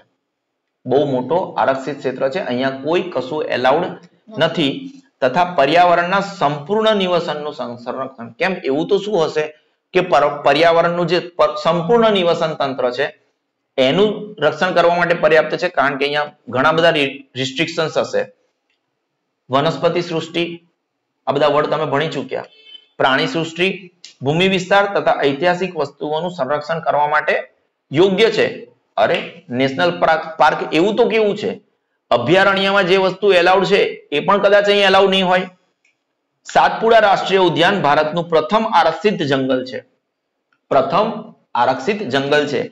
આ જંગલમાં ઉચ્ચ પ્રકારના શાક જોવા મળે છે. ભારતમાં સૌથી પણ વધારે રાષ્ટ્રીય ઉદ્યાન આવેલા છે. સાતપુડા રાષ્ટ્રીય ઉદ્યાનમાં ખડકોના આશ્રય, ગુફાઓ આવેલ છે. તે આ જંગલોમાં પ્રાગૈતિહાસિક માનવ જીવનની, પ્રાગ ઐતિહાસિક માનવ જીવનની કોઈ આવ્યું જોતો તારા, મેકનિલ, તારા દાદા પ્રાગ ઐતિહાસિક માનવ જીવનની સાબિતી છે. તે આપણને તે આપણને આદિ માનવના જીવન વિશે ખ્યાલ આપે છે. પથ્થરોની આ ગુફાઓમાં ભીત ચિત્રો, ભીત પર જે ચિત્રો હોય ને, પણ જોવા મળે છે. પંચમટી જીવાવરણ આરક્ષિત વિસ્તારમાં પંચાવન ગુફાઓની ઓળખ થઈ ચૂકી છે.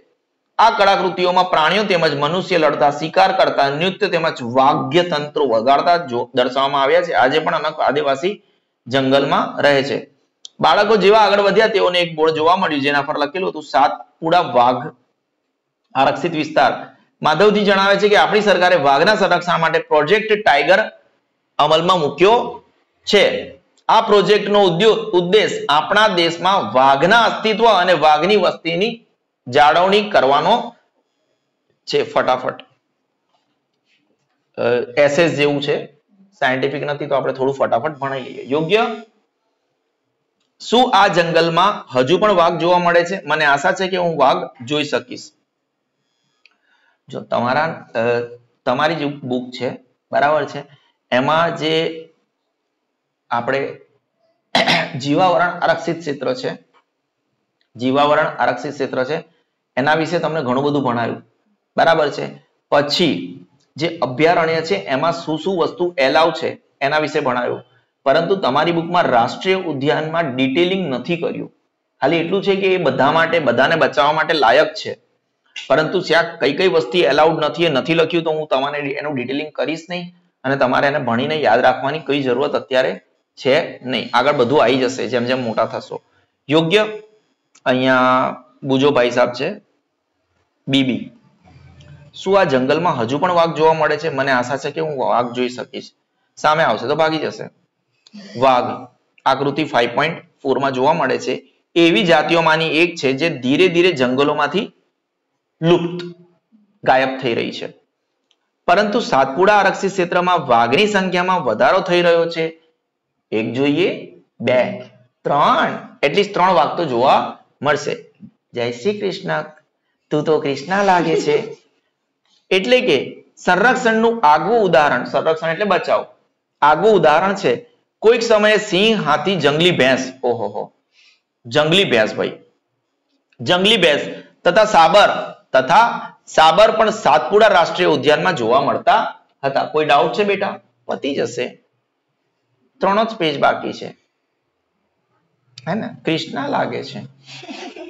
એવા પ્રાણીઓ કે જેની સંખ્યા એક નિર્ધારિત સીમાથી ઓછી થઈ જાય છે અને તે લુપ્ત થઈ શકે છે તેવા દેખો લુપ્ત થઈ ગયા એટલે ગાયબ. લેકિન ધારો કે એક નંબર હોય પાંચસો. આ લોકોએ સેટ કર્યો. હવે પાંચસો ની નીચે કોઈ પ્રજાતિની વસ્તી થઈ ગઈ. એનો મતલબ એને કહીએ આપણે નાસપ્રાય જાતિ. મતલબ આ ભવિષ્યમાં હવે નહીં દેખાય. હવે નહીં દેખાય. બુજોએ ડાયનાસોરને વિશે યાદ દેવડાવ્યું કે જે લાખો વર્ષો પૂર્વે લુપ્ત થઈ ગયા, કેટલાક સજીવો ના કુદરતી નિવાસમાં. આને કહેવાય જંગલી ભેંસ, કહેવાય રે, ટીડિંગ ટીડિંગ, ટીંગ ટીંગ ટીંગ ટીંગ ટીંગ ટીંગ. અને આને આપણે સાબર કહીશું કે આને આપણે સાબર કહીશું કે પછી આપણે ભણવામાં લાગી જઈશું. ટીડિંગ ટીડિંગ ટીડિંગ ટીડિંગ. પેલું શું હતું હમણાં? કઈ નહીં. ખલેલ ઊભી થવાથી તેના અસ્તિત્વ માટે ખતરો ઊભો થયો છે. હા પેલું નતું? દલડા મારે દલડા મેચ કરવા છે કપડા મેચ કરવા છે ને મંડળા મેચ કરવા છે. જબર જબરજસ્ત ગીતો બનાવે છે. તેના અસ્તિત્વ માટે ખતરો ઊભો થાય છે. વાપસ પ્રોફેસર અહેમદ તેમને કહે છે કે વનસ્પતિ અને પ્રાણીઓના સંરક્ષણ એટલે બચાવ માટે સખ્ત કાયદા. સલમાન ખાનને પણ અંદર નાખી દીધો. તમામ રાષ્ટ્રીય ઉદ્યાનોમાં લાગુ પાડેલ છે. અહીં માનવ પ્રવૃત્તિઓ જેવી કે પ્રાણીઓને પકડવા એમના શિકાર કરવા, તેમજ પશુઓનો ચારો, બળતણનું લાકડું. આવ્યું આવ્યું. શું આવ્યું આપણે થઈ ચા, વ, લા. ચા, વ, લા. આટલું બધું વ્યવસ્થિત રીતે ભણાવીને જ્યાં જ્યાં વસ્તુ લખવાની છે વસ્તુ યાદ કરાવી દઉં છું. અહીંયા, આ જે પર્ટિક્યુલર છે, સાતપુડા રાષ્ટ્રીય ઉદ્યાનમાં, તમને અહીંયા આ લોકોએ ડિટેલિંગ કરી આપ્યું કે રાષ્ટ્રીય ઉદ્યાનમાં નેશનલ પાર્કમાં શું શું વસ્તુ એલાઉડ નથી. તો સમજો લખ્યું. અભયારણ્ય અને રાષ્ટ્રીય ઉદ્યાનમાં ફરક છે. અહીંયા ચાવલા એલાઉડ નથી. ચાવલા એટલે શું? પશુઓનો ચારો બળતણનું લાકડું અને ઔષધીય વનસ્પતિ. આ લોકોએ થોડું લા આગળ લાવી દીધો. પણ આપણે તો ચાવલા જ યાદ રાખીશું. યોગ્ય? એકઠા કરવાની પરવાનગી નથી. શું માત્ર મોટા પ્રાણીઓ જ લુપ્ત થવાનો ખતરો છે? નાના નાના નહીં. અરે બાપરે. આ માધવજી એ જ છે જેમને આખા જંગલમાં વનસ્પતિઓ ઉગાડી હતી. ફ્યાંકા, ફ્યાંકે ફ્યાંકા, નકરા, નરા ફ્યાંકા મારા માધવજીએ પહેલીને જણાવ્યું કે નાના પ્રાણીઓને મોટા પ્રાણીઓ કરતા લુપ્ત થવાનો ભય વધારે હોય છે. ક્યારેક આપણે સાપ, દેડકા, ગરોળી ચામડચીડિયા અને ઘુવડને નિર્દયતાથી મારી યાર, કેવું મારી નાખે અમુક લોકો તો? ખતરનાક. બરાબર છે કોણે? આપણે સાપ શામાં સુધી? દેડકા દે દે હા દે और चागू बराबर છે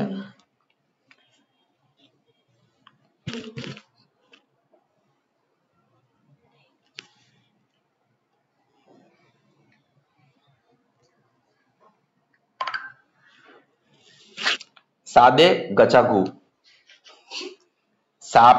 આપણે સાપને નિર્દયતાથી મારી નાખીએ. સાદે ચા નહીં. ચા. સાદે તમે આવી રીતે પણ ચા દે. બરાબર છે. પછી ઘુ. સાદે. ચા દે સાગ ઘુ. યોગ્ય? તમે. એટલે ચા એટલે શું બેટા? ચામડચીડિયું દેડકા. સાપ ગરોડી અને ઘુવડ યોગ્ય? આને આપણે એક નિર્દયતાથી નિર્દયતાથી મારી નાખીએ છીએ. અને નિવસન તંત્ર મેં સમજાયું તમને. ઇકોસિસ્ટમ નિવસન તંત્રમાં નિવસ નિવાસસ્થાન. તંત્રમાં તેમના મન વિચારતા પણ નથી આપણે. કે તમે જે ગરોળીને મારી તમે જે ગરોળીને મારી એ શું તમને મદદ કરતી હતી? નાના નાના કીડાઓને મારી નાખતી હતી ખાઈ જતી હતી. યોગ્ય? તો તમે તો ખોટું કામ કર્યું. બરાબર છે? તેમનું નિવસન તંત્રમાં તમને મહત્વ ખબર જ નહોતી. યોગ્ય? તેઓને મારીને આપણે આપણી જાતને નુકસાન જ પહોંચાડીએ છીએ. ખબર પડી ગઈ ને? ભલે તે કદમાં નાના હોય પરંતુ નિવસન તંત્રમાં તેઓના યોગદાનને નજરઅંદાજ ન કરી શકાય બાળકો. તે આહાર ઝાડ અને આહાર આહાર શૃંખલા બનાવે ખબર પડતા છે? યોગ્ય? યોગ્ય. કોઈ પણ વિસ્તારની બધી વનસ્પતિઓ પ્રાણીઓ તેમજ સૂક્ષ્મજીવો અને અજૈવિક ઘટકો જેવા કે આબોહવા ભૂમિ નદીના મુક્ત ત્રિકોણ પ્રદેશ વગેરે સંયુક્ત રીતે નિવસન તંત્રનું નિર્માણ કરે છે બાળકો. દેખો નિવસન તંત્ર એટલે શું? નિવસન તંત્ર એટલે શું? વનસ્પતિ આવી ગઈ. પ્રાણી આવી ગયા. સૂક્ષ્મ જીવો આવી ગયા. આ બધા જૈવિક ઘટકો છે. કેવા છે? જૈવિક જૈવિક ઘટકો. વનસ્પતિ જીવન છે. પ્રાણીઓ જીવન છે. સૂક્ષ્મ જીવો જીવન છે. હવે અજૈવિક ઘટકો. અજૈવિક ઘટકો એટલે શું? દેખો આબોહવા ના હોય. આપણું જેવું એટમોસ્ફિયર છે પૃથ્વી પર. એટલે જ જૈવિક ઘટકો છે. આપણે મંગળ પર ના રહી શકીએ કારણ કે ત્યાં એવી આબોહવા નથી. બરાબર છે? પછી આપણે ભૂમિ પર નથી રહેતા. નદીના મુખ ત્રિકોણ પ્રદેશ. નદીનો મુખ ત્રિકોણ પ્રદેશ ખબર પડતા છે ને? નહીં ખબર પડતા છે? અરે મુખ ત્રિકોણ પ્રદેશ આવી રીતે નહીં હોતો. બરાબર છે. નદીના મુખ ત્રિકોણ પ્રદેશ છે. આ બધું ભેગા મળીને સંયુક્ત રીતે નિવસન તંત્રનું નિર્માણ આની અંદર બધું આવી ગયું. નિવસન તંત્રમાં. ખબર પડી? વ્રપાસ વ્રપાસુ જૈવિક ઘટકો અને અજૈવિક ઘટકો ભેગા મળીને નિવસન તંત્રનું નિર્માણ કરે છે. કોઈ પણ વિસ્તારની બધી વનસ્પતિઓ પ્રાણીઓ તેમજ સૂક્ષ્મજીવો અને અજૈવિક ઘટકો જેવા કે આબોહવા ભૂમિ અને નદીના મુખ ત્રિકોણ પ્રદેશ વગેરે સંયુક્ત રીતે સંયુક્ત સ્વરૂપે ભેગા મળીને નિવસન તંત્રનું નિર્માણ કરે છે. યોગ્ય? યાદ રહેશે? સાંજે ટેસ્ટ લઈશું. આ ચેપ્ટર નો સાડા સાત વાગે ભરાઈ રાખી ને બપોરે સ્કૂલમાં. સ્કૂલમાં જે જોડે વાત નહીં કરવાની. એમાં શું મોડે કરવાનું? બધું મેં કરાવી તો દીધું. થઈ જ જશે. તું ટ્રાય તો કર. યોગ્ય? હવે તો દોઢ જ પેજ બાકી રહ્યું. એક જોઈએ, બે, દોઢ. મને આપણે પૂરું જ કરીએ. કશું બાકી નથી રાખતા ચેપ્ટરમાં યોગ્ય? એટલે આપણે સાયન્સમાં પછી ઓલમોસ્ટ મેં તમને કીધું તું કે નતું કીધું. સાયન્સ પતાવી દઈશ. તું કેમ ભાઈ ઊંચો નીચો થાય છે? એસી બંધ કર મને ઠંડી લાગે છે. હા ઠીક છે. હવે મને આશ્ચર્ય થાય છે કે આ બધી નાશપ્રાય જાતિઓને કોઈ નોંધ રેકોર્ડ હશે કે કેમ? જે નાશપ્રાય જેનો નાશ થવાનો છે એનો જે બુકમાં રેકોર્ડ હોય ઓહો ફાઈવ પોઈન્ટ નાઇન એને રેડ ડેટા બુક કહેવાય. શું કહેવાય. રેડ ડેટા બુકમાં આપણે એને રેકોર્ડ કરીશું. પ્રોફેસર અહેમદ બાળકોને રેડ ડેટા બુક વિશે સમજાવે છે. પ્રોફેસર અહેમદ બાળકોને શેના વિશે સમજાવે છે? રેડ ડેટા બુક વિશે સમજાવે છે. તેઓ જણાવે છે કે રેડ ડેટા બુક રેડ એટલે લાલ કારણ કે નાસપ્રાય છે. તેઓ જણાવે છે કે રેડ ડેટા બુક એ એવું પુસ્તક છે જેમાં બધા નાસપ્રાય પ્રાણીઓ જે પ્રાણીઓ નાશ થવાના છે અને વનસ્પતિઓનો રેકોર્ડ રાખવામાં આવે છે. બરાબર છે? એક જેમાં જેટલા પણ રેડ ડેટા બુકમાં નાસપરાય પ્રાણીઓ તેમજ એક વખત સમજી લીધું ને એટલે પછી એને તમારી રીતે લખવાનો કોશિશ કરી શકો તમે. રટવાની કઈ જરૂરત નથી. યોગ્ય? રેકોર્ડ રાખવામાં છે. પ્રયત્ન તો કરો. એક સંસ્થા દ્વારા આંતરરાષ્ટ્રીય સ્તરે રેડ ડેટા બુક જાળવવામાં આવે છે. ભારતમાં જોવા મળતા વનસ્પતિ પ્રાણીઓ માટેની રેડ ડેટા બુક ભારત દ્વારા પણ જાળવવામાં આવે છે.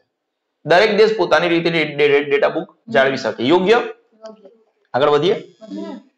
ઓહો હો ફાઈવ પોઈન્ટ ટેન સ્થળાંતર. સમજો. હવે સ્થળાંતર તો આપણે હ્યુમન્સ પણ કરીએ છીએ. મનુષ્ય. એક જગ્યાએથી બીજી જગ્યાએ. બરાબર છે? માધવજીના માર્ગદર્શન હેઠળ. આ માધવજી એ જ છે જેમણે આખું જંગલ ઉગાડેલું. બરાબર છે? ટાઈગર, સિંહ બધું એમને જ પેદા કરેલા. માધવજીના માર્ગદર્શન હેઠળ ભ્રમણ કરતું જૂથ ગાઢ જંગલમાં પ્રવેશ્યું. તેઓ ઓહ કૃષ્ણ લાગે એક જોઈએ બે ત્રણ. તેઓ તમે જે પેલો ફોટો હતો એમાં તવા સરોવર હતું ફોટો આગળ. મેપ હતો ને? બરાબર છે. તવા સરોવર જો એ લોકો લેફ્ટ હેન્ડ સાઈડથી રાઈટ હેન્ડ સાઈડ ઘૂમી રહ્યા છે. ધીરે ધીરે આમ આયા. યોગ્ય? તેઓ તવા સરોવર નજીક થોડા સમય માટે આરામ કરવા બેઠા. હવે આપણે અહીંયા પીડી. પહેલી દીદી. જો આપણી પાસે લાકડું ના હોત તો શું થાત? શું લાકડાનો અન્ય વિકલ્પ ઉપલબ્ધ છે? હું જાણું છું કે કાગળ એક મહત્વપૂર્ણ ઉત્પાદન છે જે આપણને જંગલોમાંથી પ્રાપ્ત થાય છે. મને આશ્ચર્ય છે કે કાગળનો કોઈ વિકલ્પ ઉપલબ્ધ હશે ખરો? ઓકે ફાઇન ખબર નહીં. આ હું નહોતો આ પહેલી હતી. યોગ્ય? ઓકે યોગ્ય. પહેલીના એમનો આન્સર એમની જાતે મળી જશે. આપણે એમને આન્સર આપવાની જરૂરત નથી. પહેલી એ નદીની નજીક કેટલા પક્ષીઓ જોયા મિત્રો? બરાબર છે? માધવી માધવજી માધવજી જણાવે છે કે સ્થળાંતર કરનારા પક્ષીઓ છે. આ આ કોણ છે? એક જગ્યાએથી બીજી જગ્યાએ આવવા વાળા આ પક્ષીઓ દુનિયાના અન્ય વિસ્તારમાંથી ઉડીને અહીં આવ્યા છે. આના વિશે હું તમને બધી ઘણી બધી ઇન્ફોર્મેશન આપી શકું છું. પરંતુ ટાઈમની કમી છે અને આપણે વીડિયો બહુ લાંબો થઈ જશે મિત્રો. અને તમે પ્લીઝ આ વિડીયોને ફરીથી વધારે માર્ક્સ લાવવા હોય તો ફરી ફરી જોજો. તમને ઘણું બધું વાપસ યાદ આવશે. બરાબર છે? એને રટવાની કોઈ જરૂરત નથી. વાતાવરણીય બદલ વાતાવરણીય બદલાવના કારણે સ્થળાંતર કરનારા પક્ષીઓ પ્રવાસી યાયાવર પક્ષીઓ. કેવા પક્ષીઓ? પ્રત્યેક વર્ષે દૂર દૂરના વિસ્તારોમાંથી એક ચોક્કસ સમયે ઉડીને આવે છે. તે અહીં ઈંડા મૂકવા માટે આવે છે કારણ કે અતિશય ઠંડી હોવાને લીધે તેમના મૂળ નિવાસસ્થાન તે સમયે રહેવા માટે યોગ્ય હોતા નથી. આવા પક્ષીઓ ઉડીને આ માત્ર વાંચ્યો જ. હું ખાલી રીડિંગ જ કરી નાખ્યો આ પેરેગ્રાફ તો ખબર પડી ને કઈ સમજાવવાની જરૂરત નથી. લાંબી યાત્રા કરીને આવે છે. તેને સ્થળાંતરિત પક્ષીઓ અથવા પ્રવાસી પક્ષીઓ કહે છે. દેખો આપણું ચેપ્ટર ખતરનાક તરીકે તે ફાઈવ પોઈન્ટ ઇલેવન કાગળનું પુનઃચક્રણ કેવી રીતે? આ એ એ જ પ્રોફેસર અહેમદ છે એ જ પ્રોફેસર અહેમદ છે જે પ્રોફેસર અહેમદ છે. તો પ્રોફેસર અહેમદે બાળકોનું ધ્યાન વન્નાબુદીના એક અન્ય કારણ તરફ દોર્યું. તે તેઓને જણાવે છે કે એક ટન કાગળ પ્રાપ્ત કરવા માટે સત્તર પૂર્ણ વિકસિત વૃક્ષોને કાપવામાં આવે છે. એક ટન કાગળ માટે સત્તર ટ્રીસ કાપવામાં આવે છે. આથી આપણે કાગળની બચત કરવી જોઈએ. પ્રોફેસર અહેમદ એ પણ બતાવે છે કે ઉપયોગ માટે કાગળને પાંચથી સાત વખત મતલબ પહેલું કાગળો એકદમ વ્યવસ્થિત હોય પછી ધીરે ધીરે એનો કલર પણ બદલાતો જાય છે બરાબર? એટલે એને પુનઃચક્રીકરણ. ફરીથી ફરીથી. જે પેપરનું કાગળ નહીં હતું તમારા ઘરે પેપર આવે ને દિવ્ય ભાસ્કર એનું કાગળ તમારી બુકના કાગળ કરતા ખરાબ હોય છે. બરાબર છે? એકદમ ખરાબ હોય. તો એ પુનઃચક્રીકરણ સસ્તું કાગળ હોય. કેવું હોય? સસ્તું કાગળ. જો કોઈ વિદ્યાર્થી એક દિવસમાં માત્ર એક જ કાગળની બચત કરે તો આપણે એક વર્ષમાં અનેક વૃક્ષોને બચાવી શકાય. આપણા દેશમાં કેટલા બધા છોકરાઓ છે? હવે દરેક છોકરો એક કાગળ બચાવે તો? કેટલા બધા વૃક્ષો બચાવી શકાય? આપણે કાગળનો બચાવ કરવો જોઈએ, તેનો પુનઃ ઉપયોગ તેમજ રિસાયકલ કરવો જોઈએ, તેની મદદથી આપણે માત્ર વૃક્ષોને જ નહીં, પરંતુ કાગળ ઉત્પાદનના ઉપયોગમાં પણ લેવાતા પાણી તેમજ ઉર્જાને પણ બચત. કાગળ ઉત્પાદન માટે પાણી જોઈએ પ્લસ ઇલેક્ટ્રિસિટી તો બધી વસ્તુઓનો બચત કરી શકાય. ઉપરાંત કાગળ ઉત્પાદનના ઉપયોગમાં લેવાતા હાનિકારક રસાયણની માત્રામાં પણ ઘટાડો થાય. બુજો બોલ रहा है ये तोतला है બુજો તોતલા है બુજો ભૈયા તું વન્ના બુદ્ધિ માટે તો તાલામી નિલાન છે એવું તોતલા मैं तोतला मेरा भाई भी तोतला ऐसे करके ओ वाओ मेरा सगा भाई नहीं ये बूजो का भाई तोतला પુનઃવરીકરણ ડિફોરેસ્ટેશન પ્રોફેસર અહેમદ નું સૂચન છે કે વન નાબુદીનો જન. શું થયું? હા. જાને ભાઈ? એક તો મારાથી બીવે બહુ. પ્રોફેસર અહેમદનું સૂચન છે કે વન નાબૂદીનો જવાબ પુનઃ વનીકરણ છે. કેવું ભાઈ? પુનઃ પુનઃ વનીકરણ છે. પુનઃ વનીકરણ નો ઉદ્દેશ કાપવામાં આવેલા વૃક્ષોની ઘટ પૂરી કરવા, નવા વૃક્ષોની રોપણી કરવાનો.